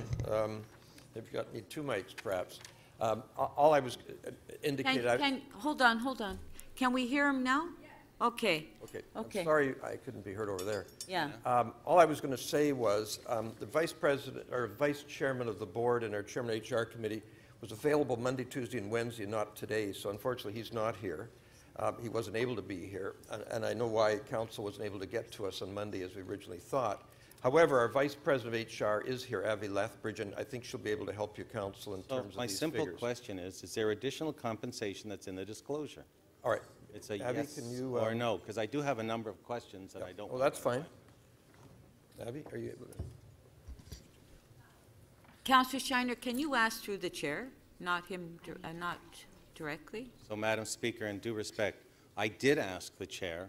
Yeah. And my time continues to run even on this clarification. Okay, I've uh, asked uh, two questions that took less than 10 seconds, and all I asked was, why, if there's additional compensation... Your time is on hold, by the way. Right, th- I appreciate that. Why, if there's additional compensation that's declared in public documents, is that information not part of the information that Toronto City Council is advised on an annual basis? And then my question was, is it not additional compensation that the president and CEO earns?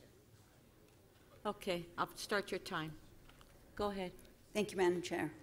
Um, Everything is actually disclosed in the annual information form, and provided to the city, and it is disclosed. um, I can provide the data to Councillor Shiner and yourself. But this is the compensation for Anthony Haines. There's additional uh, compensation associate, not compensation, but other benefits that have to be disclosed, but it's all disclosed in the annual information form and provided to the city annually. So then, the sheet I put up before is not correct. It is correct, it's the compensation. And then in the AIF, which we also provide with all the other materials, it discloses the breakdown of other benefits. So my question is, why was that not disclosed to the shareholders, Toronto City Council? It was, um, Madam Chair, it was disclosed So in the annual information Let's get to the document. This- The document you presented was only for cash compensation. The rest is disclosed in the annual information form. then let me And provided to the city. Thank you. Thank you. So then, if I go to this column here, his comp, the president and CEO's compensation was one million and eighty-seven thousand plus an additional compensation that was in the other disclosures of three hundred and fifty thousand, bringing his compensation to one million four hundred and thirty-seven thousand. It's a yes or no. It's deferred. He can take it whenever he leaves, can he not? It's a bonus that he has earned.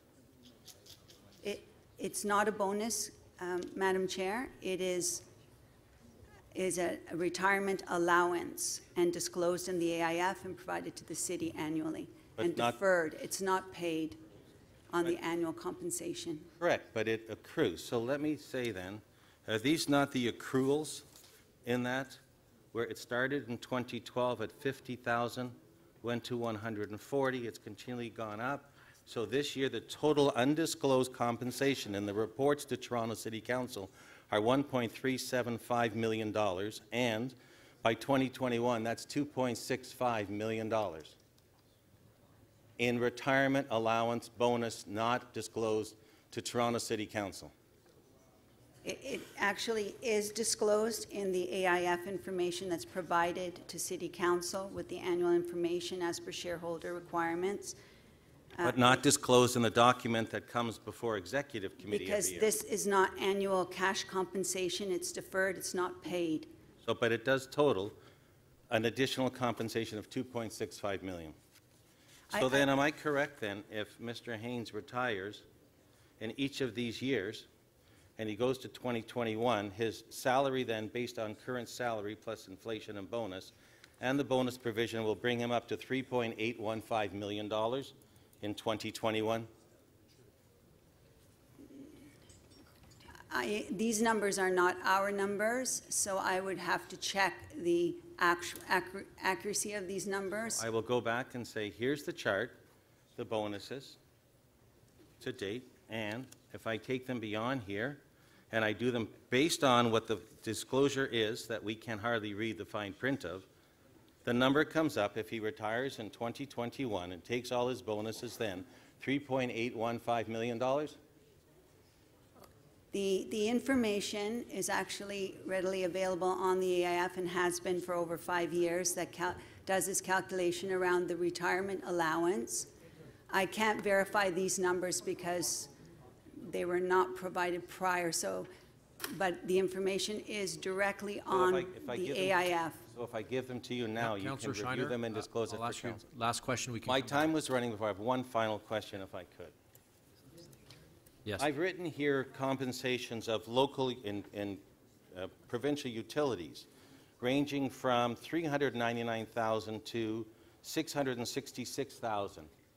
Why is Toronto Hydro compensation so much different than that? And I don't believe any of, or were any of these utilities used in your compensation comparisons. Uh, Mr. Chairman, perhaps I should deal with that. Um, I haven't seen these figures before, or, or this, this particular chart. Um, what uh, we did, and, and the councillor will know that, is we were asked to compare comparable utilities in any of our compensation. There were a number of comparable municipally owned utilities who were looked at, not publicly traded companies. There were four used, as the councillor knows, EPCOR, ENMAX, Alectra, and SaskPower. Uh, th- That's the basis on which we we did our co- comparables. Um, You can come up with all kinds of comparables to small towns, Sioux Lookout, and a whole bunch of other places. Are these small towns? All I'm saying is, we were Are asked to not almost every other utility across Canada? Councillor, Yeah, Well, when he says Counselor, small we- towns, I don't take Counselor- BC as a small town. Counselor, that, that's your last question. We can come back to you. I have a point of order from Counselor Holyday. Oh, sorry. Thank you, Deputy Speaker. Um, I just wanted to uh, point out, I- there was a statement made by Councillor Shiner that um, the information wasn't before us that was shown on the screen. I just want to make sure council knows that I think it's in attachment number four of the, uh, the electronic submission here, the AIF. And I just, it's confusing if it says that it's not here, but it, I could clearly see it. And your point of order is, Well, the point of order, I guess, is that uh, for the benefit of the debate, the councillor should be aware that um, there was a statement made that um, I feel might not be accurate, and it's not helpful to the debate. Yeah, I'm, I'm, yeah, I'm not sure if that's a point of order, but uh, thank on- you, on- Counselor Holyday.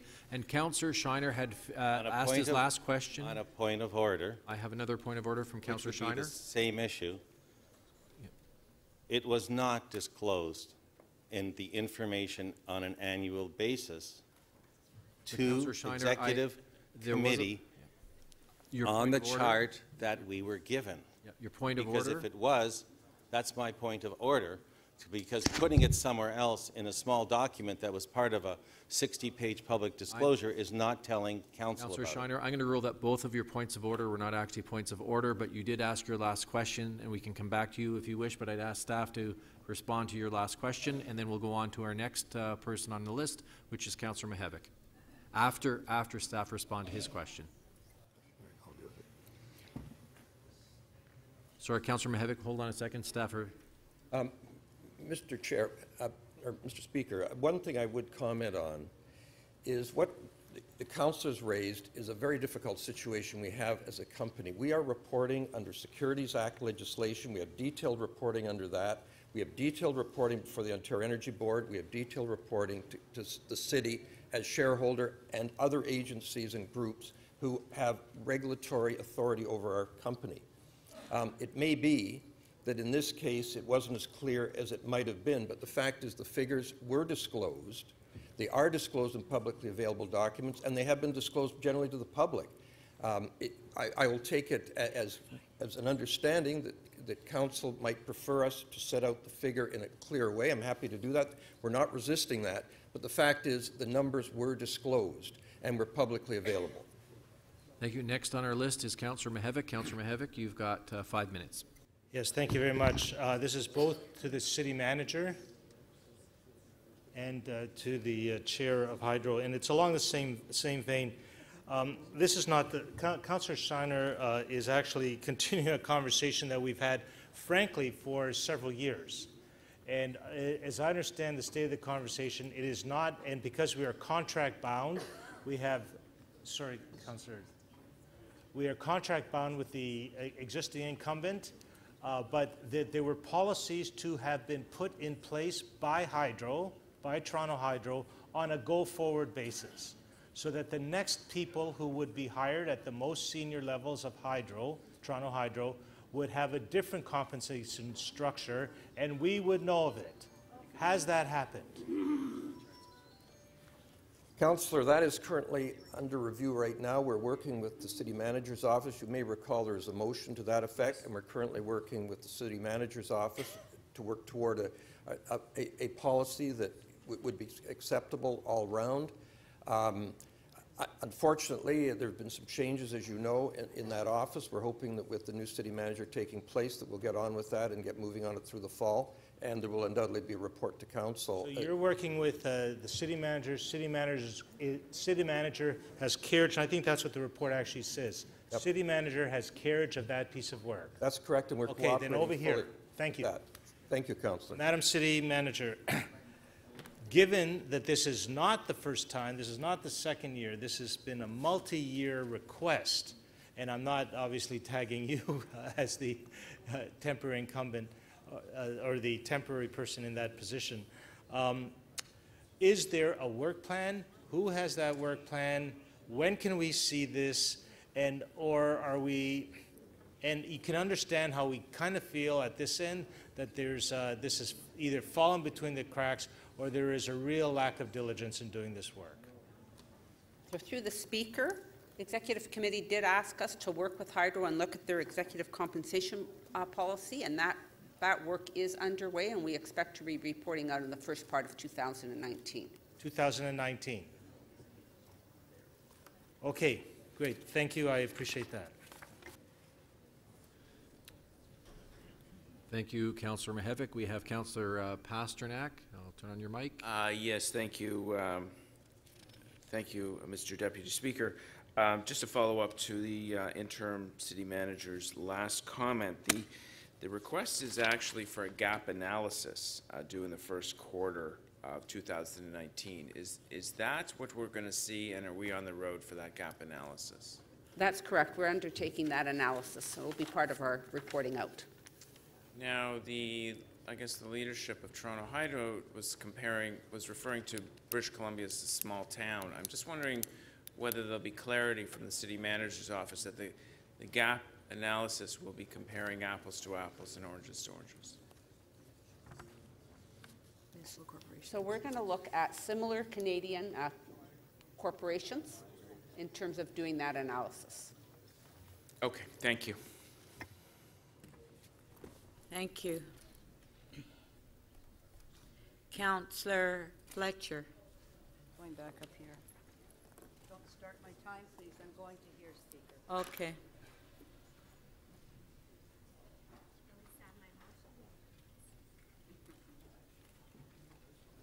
I'm just, uh, thank you, I'm putting that back up. Okay. I just have that back up, and I see the comparators. Just tell me again, please, who was the company that uh, you used? Pardon me, Councillor, I couldn't Which quite- company did you use to establish, which, to Oh, the establish comparables that we- comparators? The comparables we were looking at was ENMAX. No, which company did you use to establish the comparators? That's what I'm, I'm- I'm explaining. Yeah. Or the consulting company? Correct. I'm sorry, I thought you meant the, who we. Maybe I'm not comparator speaking loud company. enough today. Which consulting company did you use? Mercer's uh, was the consulting company that was used. Mercer's, thank you. When they came back to you, did they ever give the difference? I believe that SaskPower uh, generates power? SaskPower is a provincial utility. Yes, and they have power generation under there. And other ones here have power generation. No, the other three do not. The other three do not. Councillor, ENMAX is a municipally owned, they have some generation, but not much, they're municipally owned. They have some EPCOR generation. EPCOR is owned Okay. by the city, and, and then Alectra, which is the, uh, the Ontario one that's comparable, um, i- it's, it surrounds Toronto. And that's, uh, you know, took, it was a merger of power. And that's uh, 1,800 square kilometers, so almost three times the size of our, Well, no, it's one-third the size of our revenue.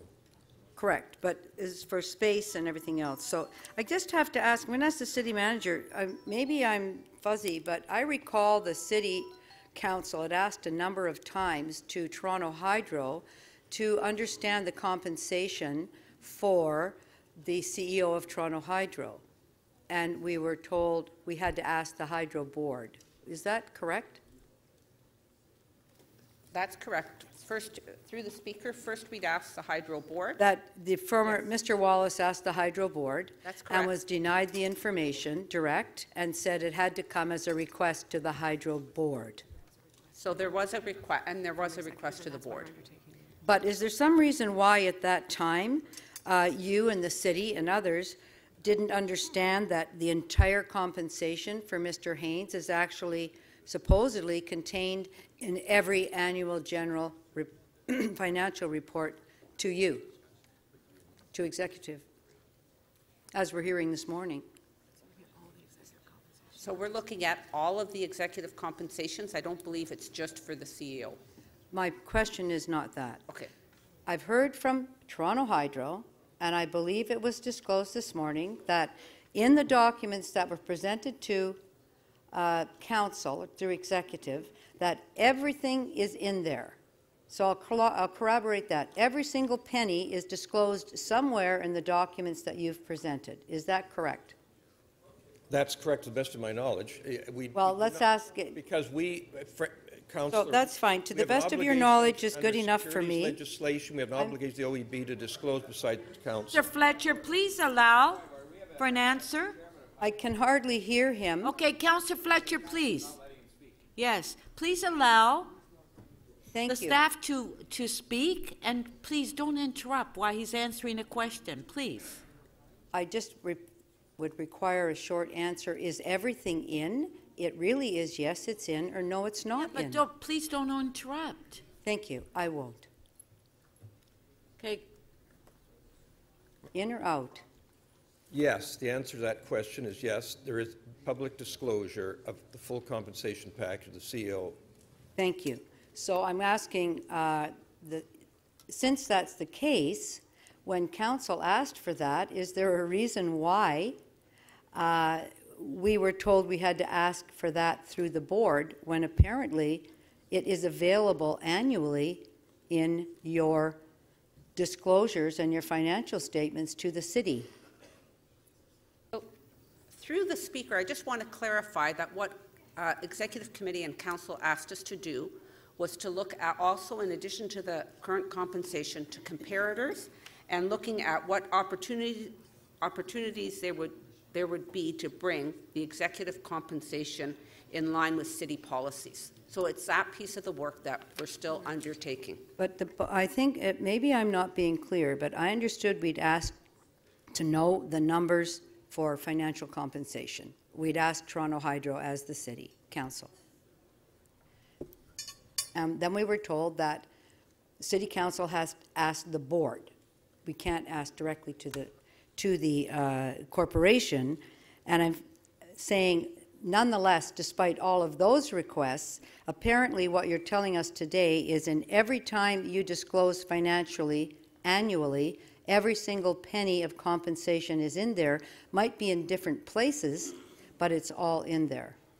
That's correct, Counselor, it is. And it's a requirement of securities legislation, a requirement of the OEB, and it's a requirement in- in our reporting to the city. That's correct, it's all there. And so my question would be, why Councillor was that not told? that- I'm- Counselor Fletcher, that was your last question. But question. why didn't you tell us that it's already there when we asked? Counselor Fletcher, that was your last question.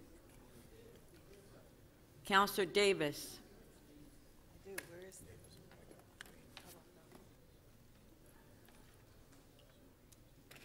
Um, Thank you, Speaker. To the city manager, I was shocked, as I'm sure everyone else here was, uh, to see these graphs. I wonder if you could put them on the screen. Um, And the hydro staff were not able to confirm these. And I'm wondering if, are you able to confirm these salary and additional benefit payouts? Through the speaker, I haven't had an opportunity to look at these graphs. What I can tell you is that on attachment four, the annual uh, information form, on page 62. Yes, I've been looking for it. I And haven't been able to 64, find so 64, page 64 has the retirement allow- allowances. I haven't been able to look at these numbers and compare it to the graphs, but I can tell you that the information is disclosed. I, I'm not, oh. I'm not disputing about, I hear, I've heard it six times, the information is there.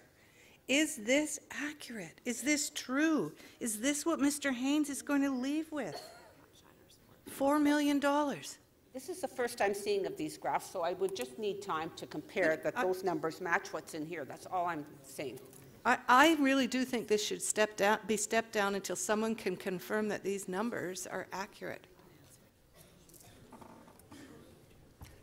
What I'd suggest, Counselor, through Madam Speaker, is that we will deal with that issue uh, with the city manager's office uh, in our report coming up.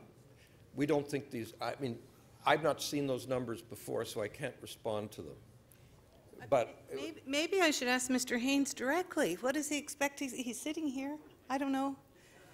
Well, Counselor So- Davis, Counselor Davis, I, you, you walked away, so your time, you, you. No, you- no, no, s- a- an answer, there was an answer that continued. No, uh, I am not going to ask Mr. Haines. No. Okay, thank you. I want someone, though, to confirm this. Okay, thank you. And I, ho- I wonder if we could step away. I've been here many, many years, and I've never seen the information presented in this way, and it's shocking to me as uh, a director of this Thank you, thank you, shareholder, number one shareholder. thank you. Yes, she uh, she- she Sole walked away, she's finished. Counts, um, Mayor, Mayor Tory. Yes, I just had a question, Madam Speaker, that relates a bit to history and to putting this into some perspective. Uh, Could uh, somebody from Hydro uh, talk to us about uh, th- these arrangements, uh, whether it's displayed properly this way or some other way? Uh, And I'm prepared certainly to accept the word of the chair about it being a full disclosure. Wh- When was the contract entered into that has these provisions in it that, that are laid out one way or another in the public disclosure documents or on these graphs and charts? Thank you for your question, Mr. Mayor. I believe there, it was certainly predated the time I was on the board. I know that. Um, I believe it may be six or seven years ago, but I, I don't have the exact, uh, I'd be happy to provide that information, but I believe it's quite some years ago, and it certainly predated my involvement on the board. But, and there is a, Abby Lethbridge just pointed out, there is a cap on this. It's not an unlimited situation. I don't think the figures are strictly correct, but we will be back to council with a full figure with the city manager's office uh, as we go through this study, and uh, council will get a full picture. And, and I'd just like, if I could, Madam Chair, to, through you to the uh, Chair of Hydro, uh, confirm that you have said today that uh, if there's a better way to disclose the same information in a more consolidated, readable uh, fashion for the reader, so that the, all the information is still there, same information, but presented differently, that you've undertaken to take a look at that? Yes, you, Speaker, uh, Mr. Mayor, you're absolutely right. Uh, One of the problems I've had over the years with uh, various security filings, and and through my practice and through business, is often, while the figures are usually in the documents, it's often as a shareholder difficult to ferret through them all. This is obviously an item that requires some clarification, and council can have the assurance that we will make sure they're, they're, they're, it's clearly set out so that members of council are- not in the dark or, or, or or find it confusing to go through the document. The figures are there. It's obviously a presentation problem, and we'll deal with it. And, and one final thing, Madam Speaker, if I could. Uh, May, may I ask the representatives of Hydro, because I'm sure they could call somebody back at the office and determine the date that that contract was entered into, and perhaps even bring us the signature page of the, who the signatories to it were, because I think it's important for us to understand in the context of things that will be said here about that contract, um, that I believe it is true to say it well predates uh, your uh, uh, being the chair and well predates a lot of the people in here uh, who weren't even here at the time, whatever people may think of the contract. Correct. We'll be happy to provide that information to your office, Mr. Mayor. Thank you. Are there any further questions? No. Okay, um, speakers. Okay, Counselor Shiner, you held the item down. I have a motion. I don't know if clerks has it ready yet. Okay, but just wait one sec.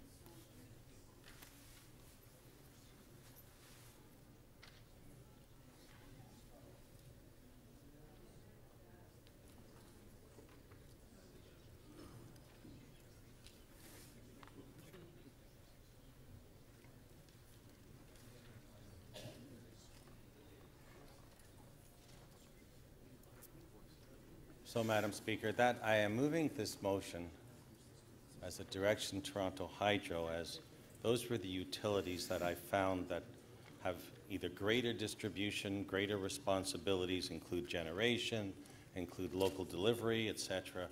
And I do not believe that the comparators that were being used at Toronto Hydro were ones that were, uh, in my opinion, uh, the proper comparators to use. Uh, in regards, and Mayor Tory? Mayor Tory? So, Mayor Tory. Councillor Fletcher, Mayor Tory. Sorry, if my time is over, but you asked a question as to when. The figures that I go all came from public documentations. The original bonus started in 2012, the first retirement allowance. Under the previous term and not under the current chair, not under Mr. McFadden. It was under Mr. Copeland. The second one actually came in during this term of council in 2014, and it's the greater one. It was the one on my charts that was gray. And that came in by uh, Mr. Williams, who was chair until then. Mr. McFadden, in due respect, did not take the chairman's role until 2016, according to my records. But each and every number that I have, my office had to find by researching it through all the public disclosures and the 60 or 70 pages of the fine print that you have. I am extremely disappointed in that because we asked the simple question over many years. How does the compensation compare of our senior staff to other similar utilities? And if you just want to talk about the number of customers, well, so you have a condo building with 300 people in that, and you got three of them on the street, one feed to the building. Well, that's a 1,000 people, but that's only three feeds, when some of these are much greater. And all I'm looking is for fairness in compensation. And I don't think we've had the fullness of the information in front of us. It was extremely disappointed when we actually found in the back pages of this, buried here in page 64, these allowances. And then we had to go onto the internet to find them every time because we were always told we have to go in camera for any of this stuff, and yet it was always public information. Now, I'm never averse to people getting fair pay for fair work. But I believe we have a responsibility to the taxpayers and the ratepayers of the City of Toronto just to be sure that the compensation of our senior executives is in line with the compensation of others. And I believe in, that we should get the fullness of a report in front of us. And when we get a report that doesn't include that, which was what is, was in front of us at Executive Committee, and it said a total compensation of $1.87 million, $1,087,000, it doesn't come down to the fact that these additional bonuses are there that total $2.65 million. And in a very short period of time, by 2021, if Mr. Haines wishes to retire, the earnings that year can be $3.8 million. I don't know anyone, city manager, I don't think would make that in their life. I mean, do you know how long it takes to get to those kind of pays?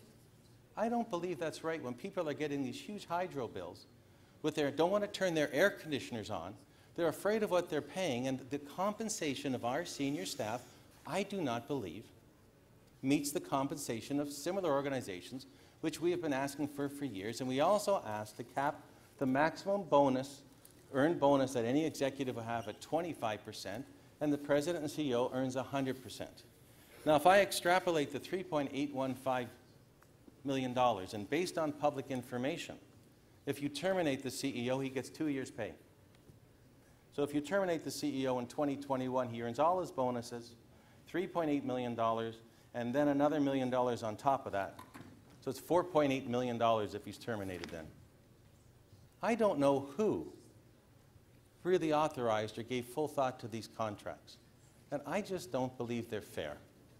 So what I'm asking is that we instruct the board to go back and give us some comparisons and come back here next year and let's see where the compensation is and do everything possible to make the pay of our executives comparable to what the pay is of other executives with similar jobs and responsibilities. Thank you. We do have some questions for you. Councillor Holyday, three minutes, clarification. Thank you, Madam Speaker. Um, through you to Councillor Shiner, um, I know as a, as a board member a little bit how the compensation system works, and I know how important the comparables are in choosing the right ones. Uh, But there's implications. If, if these comparables drove up the salary of the executives, do you- would you still support your motion? First of all, I would. And second of all, the list that I had up there, when I looked at almost every similar utility across the country, anyone similar, Saskatchewan Power, 481,000, Manitoba Hydro, 466, Hydro-Quebec, Thank you, I saw the list. 660, I only have BC Hydro, minutes. 528, the province of Alberta, 682, Quebec, 543, Ottawa Hydro, very similar to us, 399. Thank you. Um, Would you support giving uh, the executives um, additional compensation like stock options if that was found in any of these places? I don't believe any public utility I don't know. municipally owned utility can even do that because there's no stocks to give.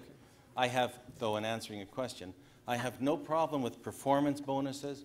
I support them over and did at Build Toronto. I supported them at CreateTO, and I continue to support them based on at Toronto Hydro. I have no problem with that. I'm not talking just about stock option, about a bonus provision. So similar is a very important word in your motion. Can you explain to me the different uh, comparators that you used in determining which of these uh, companies to choose as the comparison list? Did you look at, you know, capital? Did you look at number of employees? Did you look at number of customers? Did you look at, um, you know, gross revenue? What were the, what were the elements that you used to infer that these were appropriate comparisons to Toronto Hydro? Well, First of all, for what I could, and I answer that because we are not allowed to have the public information about who the comparators were. We only have the name, it's a comparator. Okay. We aren't even given who the comparator is. But I find it, you know, I'm, a- I'm a very simple person, really, when it comes down to it. I try and stay at higher levels and deal with things that I can understand and not get always drawn into the weeds of it.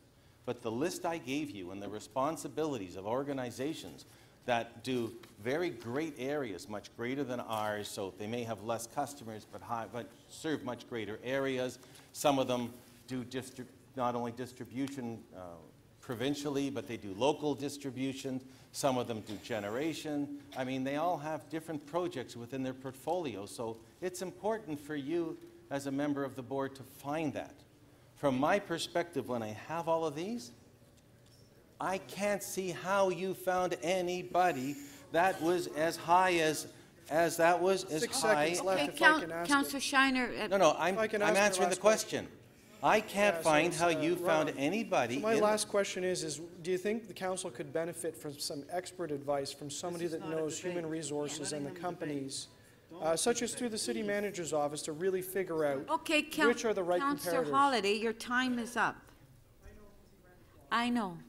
And my, my answer to that is, I have been striving to see that. And I will tell you that I don't really want to be the one to bring that here. I know all the individuals because I was on the board at Toronto Hydro.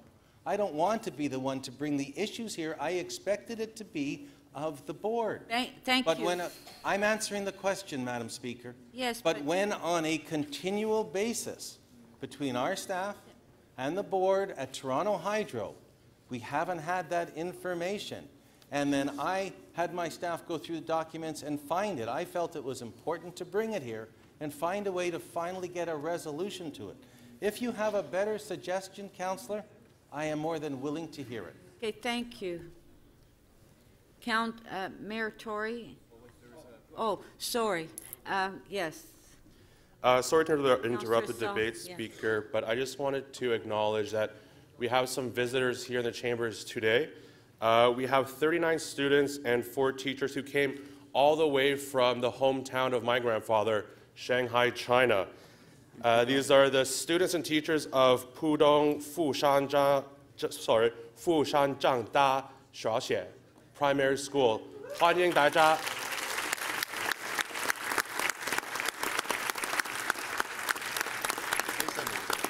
So I just wanted to say welcome and 欢迎 and welcome to Toronto. Enjoy your stay. Thank you very much. Thank you. Thank you. Uh, Mayor Tory, question? Just had a couple of questions of the councillor, Madam Speaker. Uh, First of all, um, I believe uh, this, uh, the- all this detail is pursuant to an employment agreement, and I was asking some questions of the Chair of Hydro about this, and uh, I I respect the fact you've done as much work and your staff at looking at all of this and trying to make uh, better sense of it. Uh, could- Is it, is all of this pursuant to the terms of an employment agreement between Mr. Haines, the Chief Executive Officer, and the corporation? Yes, it is, to my understanding, and one was entered into in 2012, previous council, and one was entered into 2014 during this session of council. All right, well, just on that, uh, so, so I don't, I don't believe there's a second employment agreement. You There are talk- two. It says it in the public disclosure. There are two bonus provisions that were, or uh, additional I want to clarify about, what is the date of the second contract then, uh, the second contract that you've said was entered into in the term of this council? This council began on December 1st, 2014. I don't have the dates.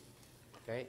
Um, And then the the I, date... I- and I might be in error, Mayor, so I would have to double check. Okay, thank you. Well, we're, we're going to get that information, I hope, from Toronto Hydro uh, uh, very shortly. So, but it, I know that it was under the, the, auth- the first was uh, in 2012 was under Mr. Clare Copeland as chair. The second one was under Mr. Williams. Nine, none of them were under Mr. McFadden. Thank you. Thank you. Deputy Mayor Minnan-Wong to speak.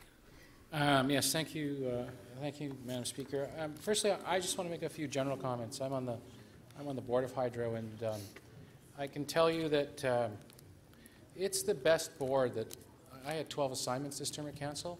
It's the best board that I've been on. It's a high-functioning board, um, aside, including, well, not aside from, including the councillors Ainslie and and Holyday. We have some of the smartest people, most talented people on that board, and we're really lucky to have them. I'd also like to, to speak to the management. We have a, we have a great management team. We, we, you know, we might argue about salary, salary comp, but they are, I think, and I think the board really feels strongly about this, uh, they're a high-functioning uh, management team, um, and oftentimes, over the time that, uh, for the last number of years, um, this council has treated uh, Toronto Hydro like a piggy bank, uh, breaking it open on a regular basis and still requesting them to do things that are, by, any, by most hydro uh, electricity utilities, that would be, seem to be quite unreasonable, yet they, they, they, they continue to move along. Um, so uh, generally, then now specifically, um, what I would like to say this about the salaries. Uh, you know, I see two pieces to this about the discussion. First is the process question about the disclosure of information. So there was, all the information was disclosed. I think the point that is being made is um, that it wasn't all disclosed in an obvious place, especially the, the, the, the um, any, any funds associated with, with, for pensions. Um, So I think that's a, that's a fair comment. I think that the information is in the AIF, may not be easily found. But what I can tell you that, and, and I, I have done this, um, when I was looking for this information, all I did was phone up Hydro and ask them what, where this information could be found, and they found it for me. They're not an organization that, is, that, that, that will hide this information from you if you just call them up and ask. So, for example, um, if a counselor wanted to know what the cumulative uh, benefits for, or any of these questions, all you had to do was phone up either Anthony or the head of human resources. Um, they would have given that to you. Now, just briefly in terms of the substantive piece, in terms of, because this, this seems to be, a lot of this discussion is talking about uh, compensation packages. I can tell you there's a, there's, um, there's a disconnect between, I think, some of the uh, board members and some of the, um, pardon me, some of the, the uh, counselors on the board and some of the more, let's call them, uh, board members from the corporate world. And, um, you know, we're trying to square, I, I mean, here's, here's the question for you. How do you pay a guy over a million dollars who runs a monopoly? Um, you know, it's, it's an interesting question. Um, and could you get someone just as good when you pay them less? And the, the example that I, that I always like to use is, is I'll take the example of Peter Wallace. Do you think Peter Wallace could want, run Hydro and learn, learn how to run Hydro and do a pretty good job at it? My answer would be yes, but he just, he gets a fraction of what, you know, the, current president and CEO gets. Then you talk to all the, the folks on the board who come from the corporate world, and they say, no, no, no, you can't do that. You won't get anybody any, you won't, won't get anybody any good. So we've got to, we've, we, um, we, we're going to have to come to ground on that at some point in time, sometime in the future. But I, I will tell you, and, you know, and, and no one decided to go into camera, but I suspect that uh, in camera it, it would come as no surprise to anybody that you can't change the, the current CEO's compensation package because that would, that would be easily, that would, you talk to any uh, labor lawyer, they would, that would, that would be constructive dismissal, right? So anyone who's trying to say we're going to, you know, we're going to reduce the salary of, of the CEO, we're going to, we should do it today, we can't, you know, we- we'd be paying out far more in, in, uh, in- in legal fees and, and, and, uh, and- and severance uh, than, than, than would be worth it. So that's, that's the reality of it. But I would, and, and if, and if this council wants to do this, and, and this information is going to come back in the next term, we can do it. Um, uh, We can do that through a shareholder direction. And that's the time that we should be considering it. But there are certain consequences to it. We should take a careful decision, and part of that decision it would be to get the information that uh, Councillor Shiner is requesting. Let's see what's all, you know, all these other compare, well, all these other uh, um, companies, uh, what their comp packages are and whether they're fairly comparable. Um, There's no question that, that these type of salaries are you know, Thank very, you, uh, Councillor. top of mind in the public eye, and it's a reasonable discussion we should be having. Thank you.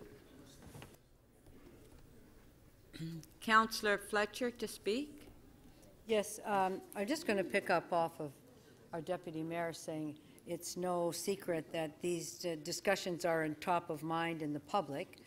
We just had a provincial election, and lo and behold, the CEO and the board were all fired by the incoming, incoming premier.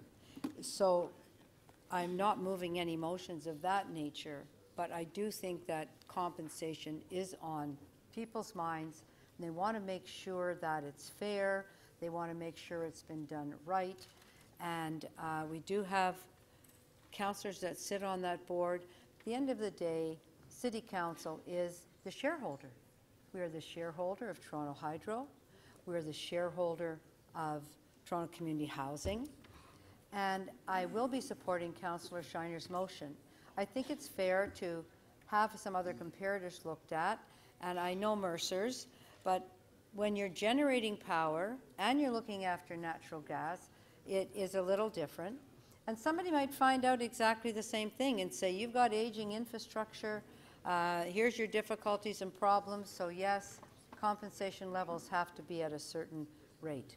And also, if for any reason our current CEO should leave, I'd certainly like to understand what the baseline is and to be able to assist the board in those deliberations. I really do believe that is the role of the shareholder at times when things might change. So I don't want to do anything radical. I just want to set the stage if there's any changes that it would be very disappointing if you hadn't done what Councillor McMahon always calls your homework and have looked at a whole number of other things, understanding that there are some concerns here. And I'm going to tell you what my biggest concern here is here now. This is probably the third time that we've had this conversation. The city manager, who's not here now, our former city manager, and so there is no institutional memory with our interim city manager, and that's the problem with so much change at the upper levels of our senior management team. Ask Toronto Hydro Corporation, please send us the information for the compensation package for your CEO. We'd asked him to ask them. I believe you all remember that.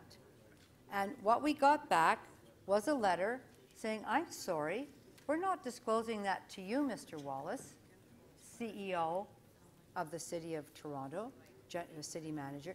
You have to have your City Council ask the board.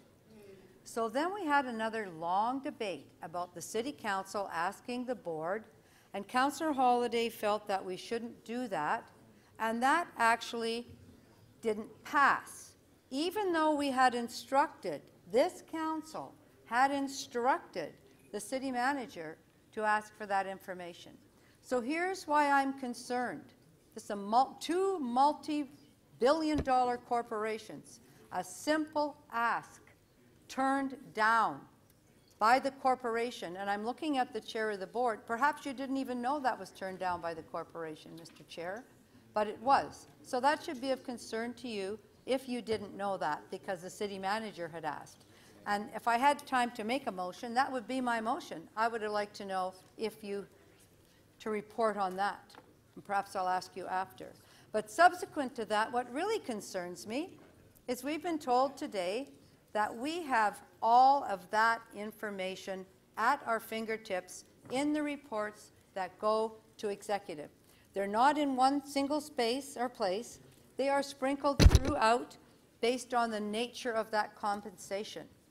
So if it is actually in the documents that are provided to City Council and the Executive Committee on an annual basis, and I'm looking right at the chair, I am having a very hard time understanding why that wasn't the answer to Mr. Wallace, that you have all of it and here it is. I'm very, very concerned. Not so much about the money, but how does the city manager ask the corporation for information and not be told, well, Mr. City Manager, you have that already. We provide that to you annually, and it's in the executive report. That, to me, does not appear as a very high-functioning corporation that can't tell its own ask from the uh, city manager that they have that information already. I'm extremely disappointed in that, but as I said, I'm extremely concerned as well. And I'll be asking the chair directly when I Thank you. Councillor Fletcher. Councillor Mah- Mihevc. Yes, thank you very much. I, I rise in support of uh, Councillor uh, Shiner's motion, noting that uh, we had already made the request for uh, this kind of request for several uh, years now. The comparables that he's asking for are hydro comparables across the country. We have already on record, I confirmed it with the general manager, uh, with our city manager, uh, that uh, comparables within the civic sector are also to be part of that study. Uh, to me, um, in, a, in a world where people have to fight like crazy to get a wage increase between up to $14 and may, might not even get it to $15 in this province, what people are concerned about is the disparity in wages. And all the studies, all the academic studies that I've looked at that shows that, that folks in the bottom 20% are at this level and their salaries relative and their ability to afford living in Toronto are going down and uh, salaries uh, at the upper 10% are going up uh, way beyond the rate of inflation and that somehow we as a city have to address it with hydro but also across the corporation across our agency boards and commission. That's a task that needs urgent attention. And so um, uh, my uh, my frustration is, is that this has taken us not months, but years, years to get the report.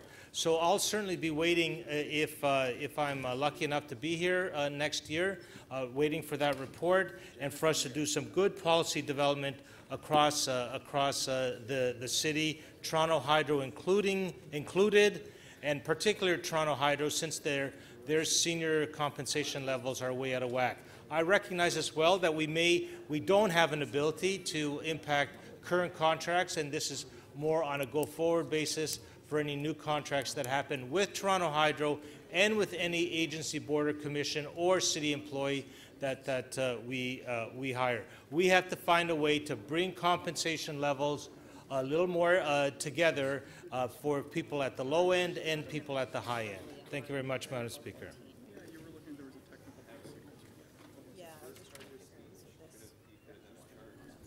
Tha- Thank you. Councillor Davis to speak. Uh, Thank you, Speaker.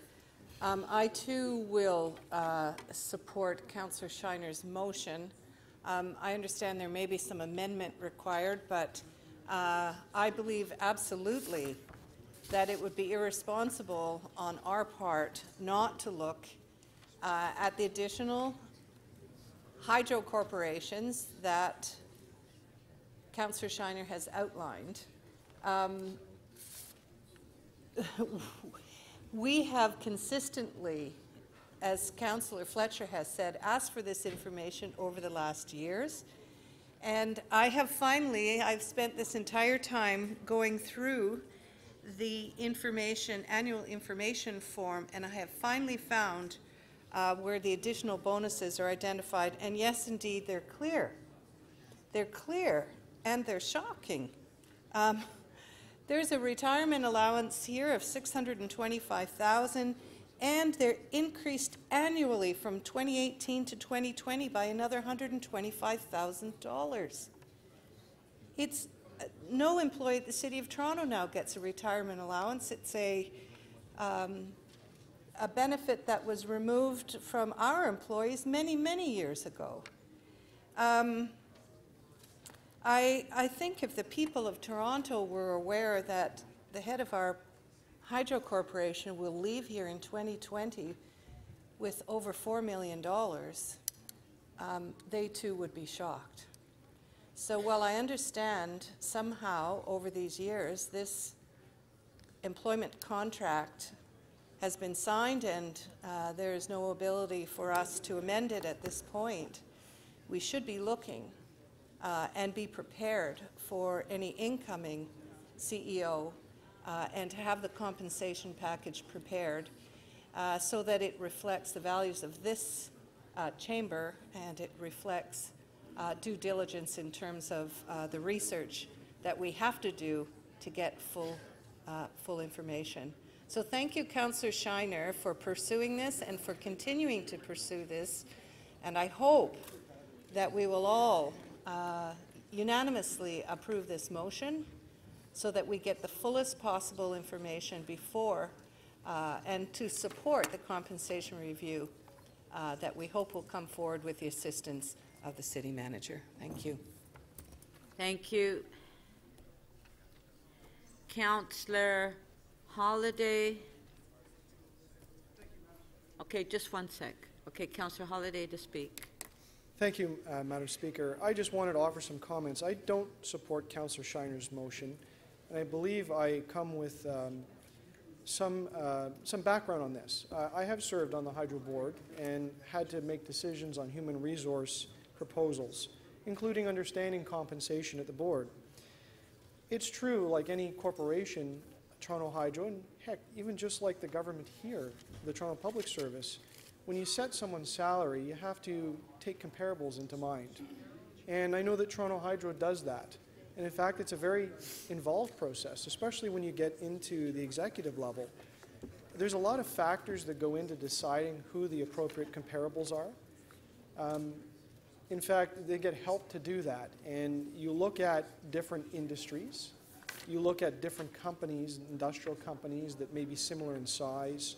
You look at the dollars that flow through. You look at the number of customers. You look at the type of capital work that they do. And you put all of that into a funnel and a matrix, and you try to figure out, you know, who are the companies that are out there that we would hire our executives from, and who are the companies that are competing with us that might steal them away. So you've got to find this balance point. Um, and they do that. We do that. Toronto Hydro has a policy on that. And there's a rule set to make sure that things are stable. And this, this, these compensations are reviewed from time to time. And those rules are refreshed to make sure that we're using fresh information and we're making wise decisions. Unfortunately, with Councillor Shiner's list, I really have no idea what the effect is. It may drive compensation way down. It may drive it way up. It may drive it down on the CEO, but drive it way up on the other executives. We actually don't know because no one's actually done the work to go through the investigation as to whether or not these are appropriate comparisons to what Toronto Hydro is. Yes, they may be municipally owned, but that's really only a, one factor. There might be other factors like size and complexity and dollar value. And as I mentioned, how does that compare to general industry? We don't know. We don't know is actually the problem that's a very crisp direction. It would be one thing to request that people take a look at these. It would be one thing to signal that, you know, this is, this is hopefully uh, some comparators that, you know, we'd like to keep into consideration. But this is quite prescriptive, and this could actually affect a change that we don't know what the result is. It may destabilize things, it may stabilize things, it may actually drive the salaries up. And so, you know, I understand where Councillor Shiner is coming from. He's got some obvious concerns. But the right way to do it is not to issue a direction on the floor of council without any understanding of what this is or any reporting. You know, invite uh, Councillor Shiner maybe to put his name in for the board on the next round of council. We could use really good, thoughtful people there that have some ideas on how compensation could work. But have Councillor Shiner also have the discussion with a, with a knowledgeable human resource consultant that understands the industry and understands the effect of these and understands all the layers of complexity there is into choosing what an appropriate comparable is. All I can say is that it's not an easy process. It's not willy-nilly. It's not just sort of sitting and checking off some, some check boxes and say, here you go. Um, there is a lot of governance that put, is put around this. Not because it's just that we want to see the corporation run well, but we have that duty um, to the ratepayers, uh, to the taxpayers of the city, to the owner of the city, I think everyone wants to make sure that you've got a company that is, uh, you know, is affordable for people to, to be customers of, but also stable, because that's the city's investment. We, re we rely on them as a, for a dividend. And you have to take into all the considerations to having a successful company to make sure that you pick the right people and you retain the right people that are in charge of it. So with that, I hope you think very carefully about the seriousness of what's been put forward. It looks like a very popular and, and uh, interesting idea, and, and and you know uh, understand that maybe people appreciate and want to see executive salaries be lower because that's a populist opinion. But I would invite you really to think very carefully about the effect of this and actually the unknown effect because we really just don't have the advice around it. And be careful because we're playing with fire. Thank you. Thank you. Councillor Shiner on a point of order? Point of privilege? Priv- Yes? Well, my colleague was saying if I would join the board, and maybe I would lo- you understand it, maybe I would understand how a compensation package. Yes, I've been on the board. Yes, I understand how they work. Yes, I've had the debate with them, and yes, I'm fully knowledgeable about them. And challenging that I might not be or saying that in public, I, I don't think is appropriate. Okay, thank you. Yes, Councillor Holyday. Uh, that's totally not what I said, um, and I would invite you know, Councillor Okay, Shiner so- to review the tape. What I said was the board could use great people like him, and I hope he puts his name in. Okay, Well- thank you. Come on, let's, let's move along here, let's move along. Councillor Mammoliti to speak. You know, I, I listened to the, uh, to the questioning and, and the dialogue in the debate, and uh, I I almost feel compelled uh, to stand up um, and defend Councillor Shiner, uh, because I know Councillor Shiner, and I have for almost 30 years. And I, I got to tell you that if there's anybody that, that understands numbers and understands this place and understands the boards and agencies any better, uh, it's Councillor Shiner. And, and me personally, when Councillor Shiner does stand up and starts questioning uh, reports and what they're about and, and, uh, and the numbers, uh, I do listen. Because more than once, uh, he has often, uh, in fact, often, he's come up with issues and, and dialogue and problems and problem solving uh, that most of us wouldn't even, wouldn't even venture into. And as, as much as I appreciate everybody uh, in this chamber, including myself, I don't think there's anybody that would read these kinds of reports and do the numbers like Councillor Shiner. And, and, and, and I have to say this because I think we, we quickly forget what happened in the provincial election. There's a new uh, leader uh, provincially for a reason. And I'm going to say it's because of the issues with hydro. And it's because of the issues with these kinds of deals that are made that got a new premier elected wanting change in this province. And so stop questioning uh, the logic and the reasoning behind Councillor Shiner. I think most of us need to appreciate what he's trying to do. And if anything, he's brought some light to an issue that most of you and myself didn't even know about. Thank you. Councillor Shiner, point of privilege. Uh, The mayor has brought to my attention that both of the salaries, uh, the um, retirement allowance were brought under Mr. Clare Copeland and not under this term of council. So I wanted to be sure that I clarified that. And secondly, to my colleagues, in speaking to the solicitor, there's some slight changes to the motion to give direction but not uh, do anything that we wouldn't want to do. It's simply to look at the comparators along with others they may use. So you're amending your motion? The wording was, the, the um, city solicitor came to me to make sure that my motion itself would in any way have any particular uh, impact So on you current are, proposals. amen- you're, you're amending it, you're Uh, amending the wording. We corrected the, the wording. Yes, okay. All right, thank you, Counselor Shiner. Um, Counselor Kelly to speak. Thank you, Speaker. Um, There's a constant reference to uh, Councillor Shiner's motion, but I've, I haven't seen it. Yeah, I just, um, And I don't know, I don't know whether it's been uh, distributed yet. Um, and ask if, um, The, uh, if he wants. the, uh, my understanding that's been communicated to me by others is that, in essence, this is an attempt to, uh,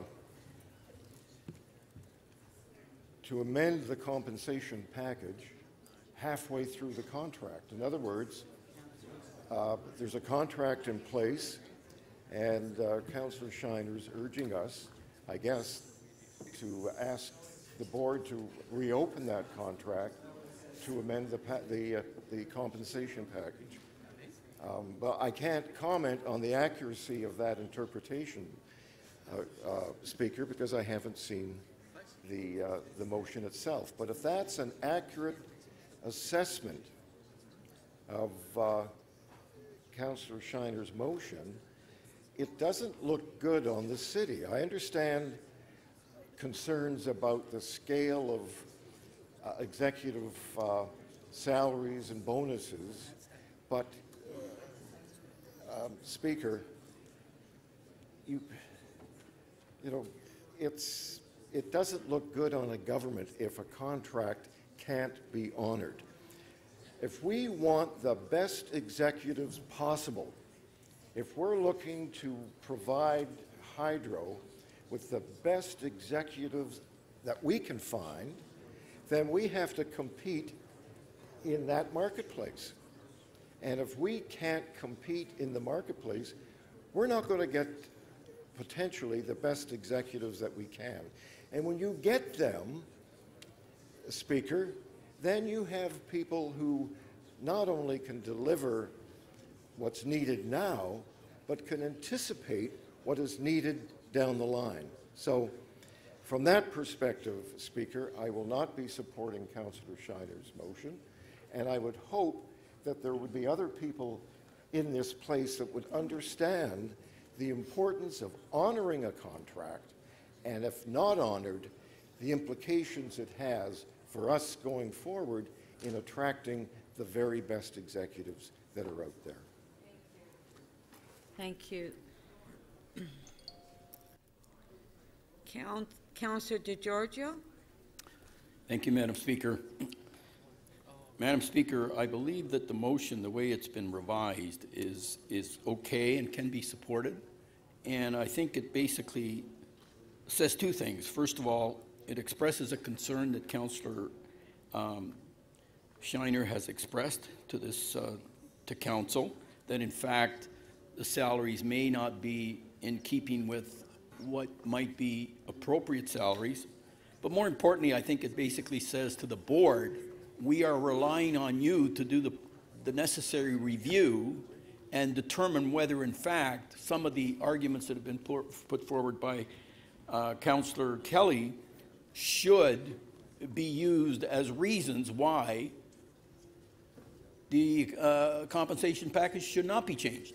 Or leave it to the board to come up with arguments why the compensation package ought to be modified slightly. So I think the motion, the way it's worded right now, accomplishes those things, so I would urge that people support it. Thank you. Thank you. Counselor Doucette to speak? Thank you, Madam Speaker. I just realised I was going to say I will be quick, but I won't say that. Um, I also wanted clarification on this motion because I think it's very important for people to uh, understand what Councillor Shiner is doing. So I just spoke to the city solicitor. There is going to be some new wording. My understanding is now that we're not looking to change anything at this point in time because you can't. But we want to review what is there now so when and if we have a new person in that position, we can look at it with a different light, compare it to the other um, large cities which are similar to us. So I just want to confirm for anyone who wasn't quite understanding what the motion was, is to be reviewed, get us ready for the next person when and if that may happen. Thank you. And that was quick. Thank you. Do we have any further speakers before we go to the last speaker? That don't have, okay, so the last speaker, Mayor Tory. Well, Madam Speaker, um, I- I'm torn on, on how to vote on this, frankly, and I'll get to that. But I want to first of all start off by saying something because there was uh, uh, maybe the slightest implication, and I want to I want to just make sure that, that it is an implication that is not left with the council and with those who are watching our proceedings. That in some way or other, this current board of Hydro, you know, either sort of deliberately didn't put information in a clear manner and whatever. I've been through this as a director. I was in fact chair of the compensation committee at, of the Rogers board before I had to leave that board when I got elected this, the, the disclosure here is among the most complex disclosure that ever happens, short of financings that go on and so forth. And uh, no matter how you put it out, there's always somebody who says you didn't put it out in enough of a way that led people to a conclusion. But that, look, leave that, be that as it may, even the chair has acknowledged this morning that uh, they, they will find ways to do better and make this compensation, uh, this uh, disclosure of compensation clearer. The point I want to make is, I, have, I, I haven't been around for a lot of hydro boards. In fact, this is the only one I've been around for, but I will say this. I have not seen, and I had a hand with others here in making sure the private citizens who were put on that board, including the chair, were people of the utmost integrity and the utmost competence. Look at who they are. Go look it up. You've got people there that are probably of the highest quality that you've ever had on the board of this big, very important uh, publicly reporting corporation.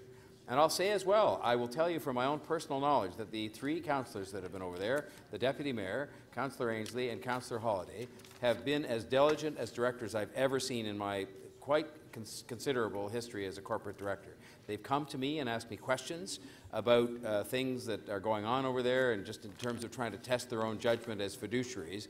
And I just want to say that to me, I mean, this has been a board that has been, been the, above and beyond any questioning of their approach or their integrity from the standpoint, including efforts, I think, to try and be more transparent. The second thing I want to say is this all relates, and I think it's very important because it relates to the comments made by Councillor uh, Mammoliti, uh, to a contract that was entered into, and any sort of changes or modifications to it with regard to bonus payments were made. The first contract I found out since I asked, May 27, 2010, under Chair Clare Copeland, and the second, May, March 27, 2013, under Chair uh, Clare Copeland. Uh, and the Councillor Shiner mentioned something about Mr. Williams. I don't know. But the bottom line is these are contracts entered into uh, under the following previous council, previous mayor, previous board, previous chair, and I don't know if I've left anything out. And so it's in the past, and I find myself in no position to judge. But if you want an indication of my thoughts about it, and this is no commentary on the job done by the current incumbent in the CEO's position, uh, he oversees a corporation that sends us a check for $75 million every year, and that dividend has been no done nothing but grow. And certainly when I was a chair of, uh, of the HR committee at a big corporation, in fact, I've done it more than once, um, that certainly is something you look at, which is a track record. And you look at market conditions.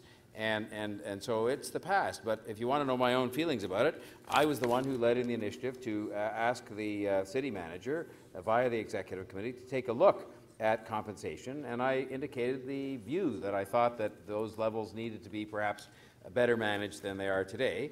And so that comes to the, to the, uh, the fact that that work is being done. And, and one of the reasons I'm hesitant to vote for Councillor Shiner's uh, motion today is because the work is being done by our city staff. And this is what we do so often. We ask for a report, and I don't, I'm not disrespecting of Councillor Shiner. I respect highly the fact he did the work, and as Councillor Mammoliti said, he's had people burrowing into all this and figuring it all out and putting it in a more easily understood uh, uh, format, assuming it's accurate. But we ask somebody to do a report, our city manager, they're spending time doing it, they're going to report back as soon as they can, and then we have another motion that in effect sort of says, well, yeah, while you're doing that, let's send over a direction to tell you what to do. And then there's the second question, which is the fiduciary responsibility of directors over there, and I think this is what Councillor Holyday is getting at. They have, those directors, a fiduciary responsibility, and while we're entitled to send a shareholder direction, I'm not sure that's exactly what this is. This is a motion from the council, and the council also, the city happens to be the shareholder, but if there's a way we want to do that, then we should probably do it the proper way as opposed to this kind of way where it comes in front of us and it's being amended on the fly. Um, and I, I would say we should have the staff do their work. Having said all that, I may well, and I'm going to decide in the next 30 seconds, because what really Councillor Shiner is saying is let's include these other companies as comparators, among others. So he's not even directing through the motion uh, what, uh, you know, who should be at, who should be included on the list. But I really wanted to emphasize two things. Yes, it is the past, and Councillor Mammoliti is right. Consideration of how these things are done and how much is paid and who gets paid what, I think those things have changed a little bit as we've had to uh, be more respectful of uh, current circumstances in the world at large and hydro bills and all the rest. Not that this affects hydro bills. Secondly, I wanted to make sure I made the point about the integrity of the board, including council directors who've been over there doing a good job for us. And thirdly, that we should let our staff do their work when we ask them and respect fiduciary obligations of the people over there who are on the board of directors, because that is a very important principle that should not be compromised. Thank you, Madam Speaker. Thank you.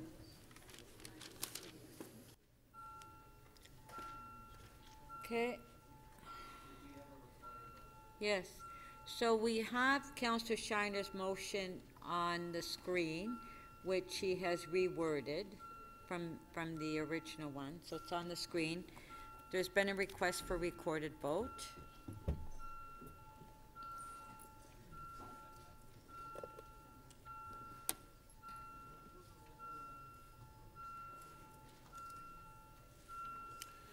Councillor Perruzza, please.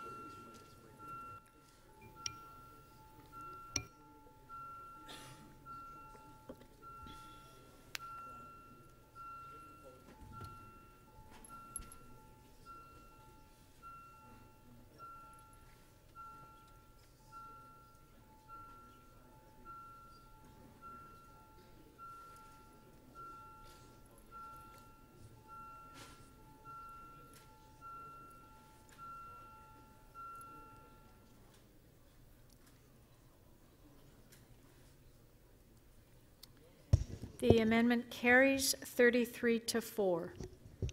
Okay. Item as amended, on favor, carried. Okay, before we recess, um, we have one member's motion that we should introduce before we break for lunch. Councillor Troisi? If I could introduce the motion. Yes. So this way it can be circulated. It's right there, and the city solicitor has um, been working on this motion. Okay. You want to just? ye- Yes, uh, the motion is urgent, as this matter is currently before the local planning appeal tribunal, and the city solicitor requires further direction. Okay, thank you. Thank you. On favor, carried. We'll recess to 2 o'clock.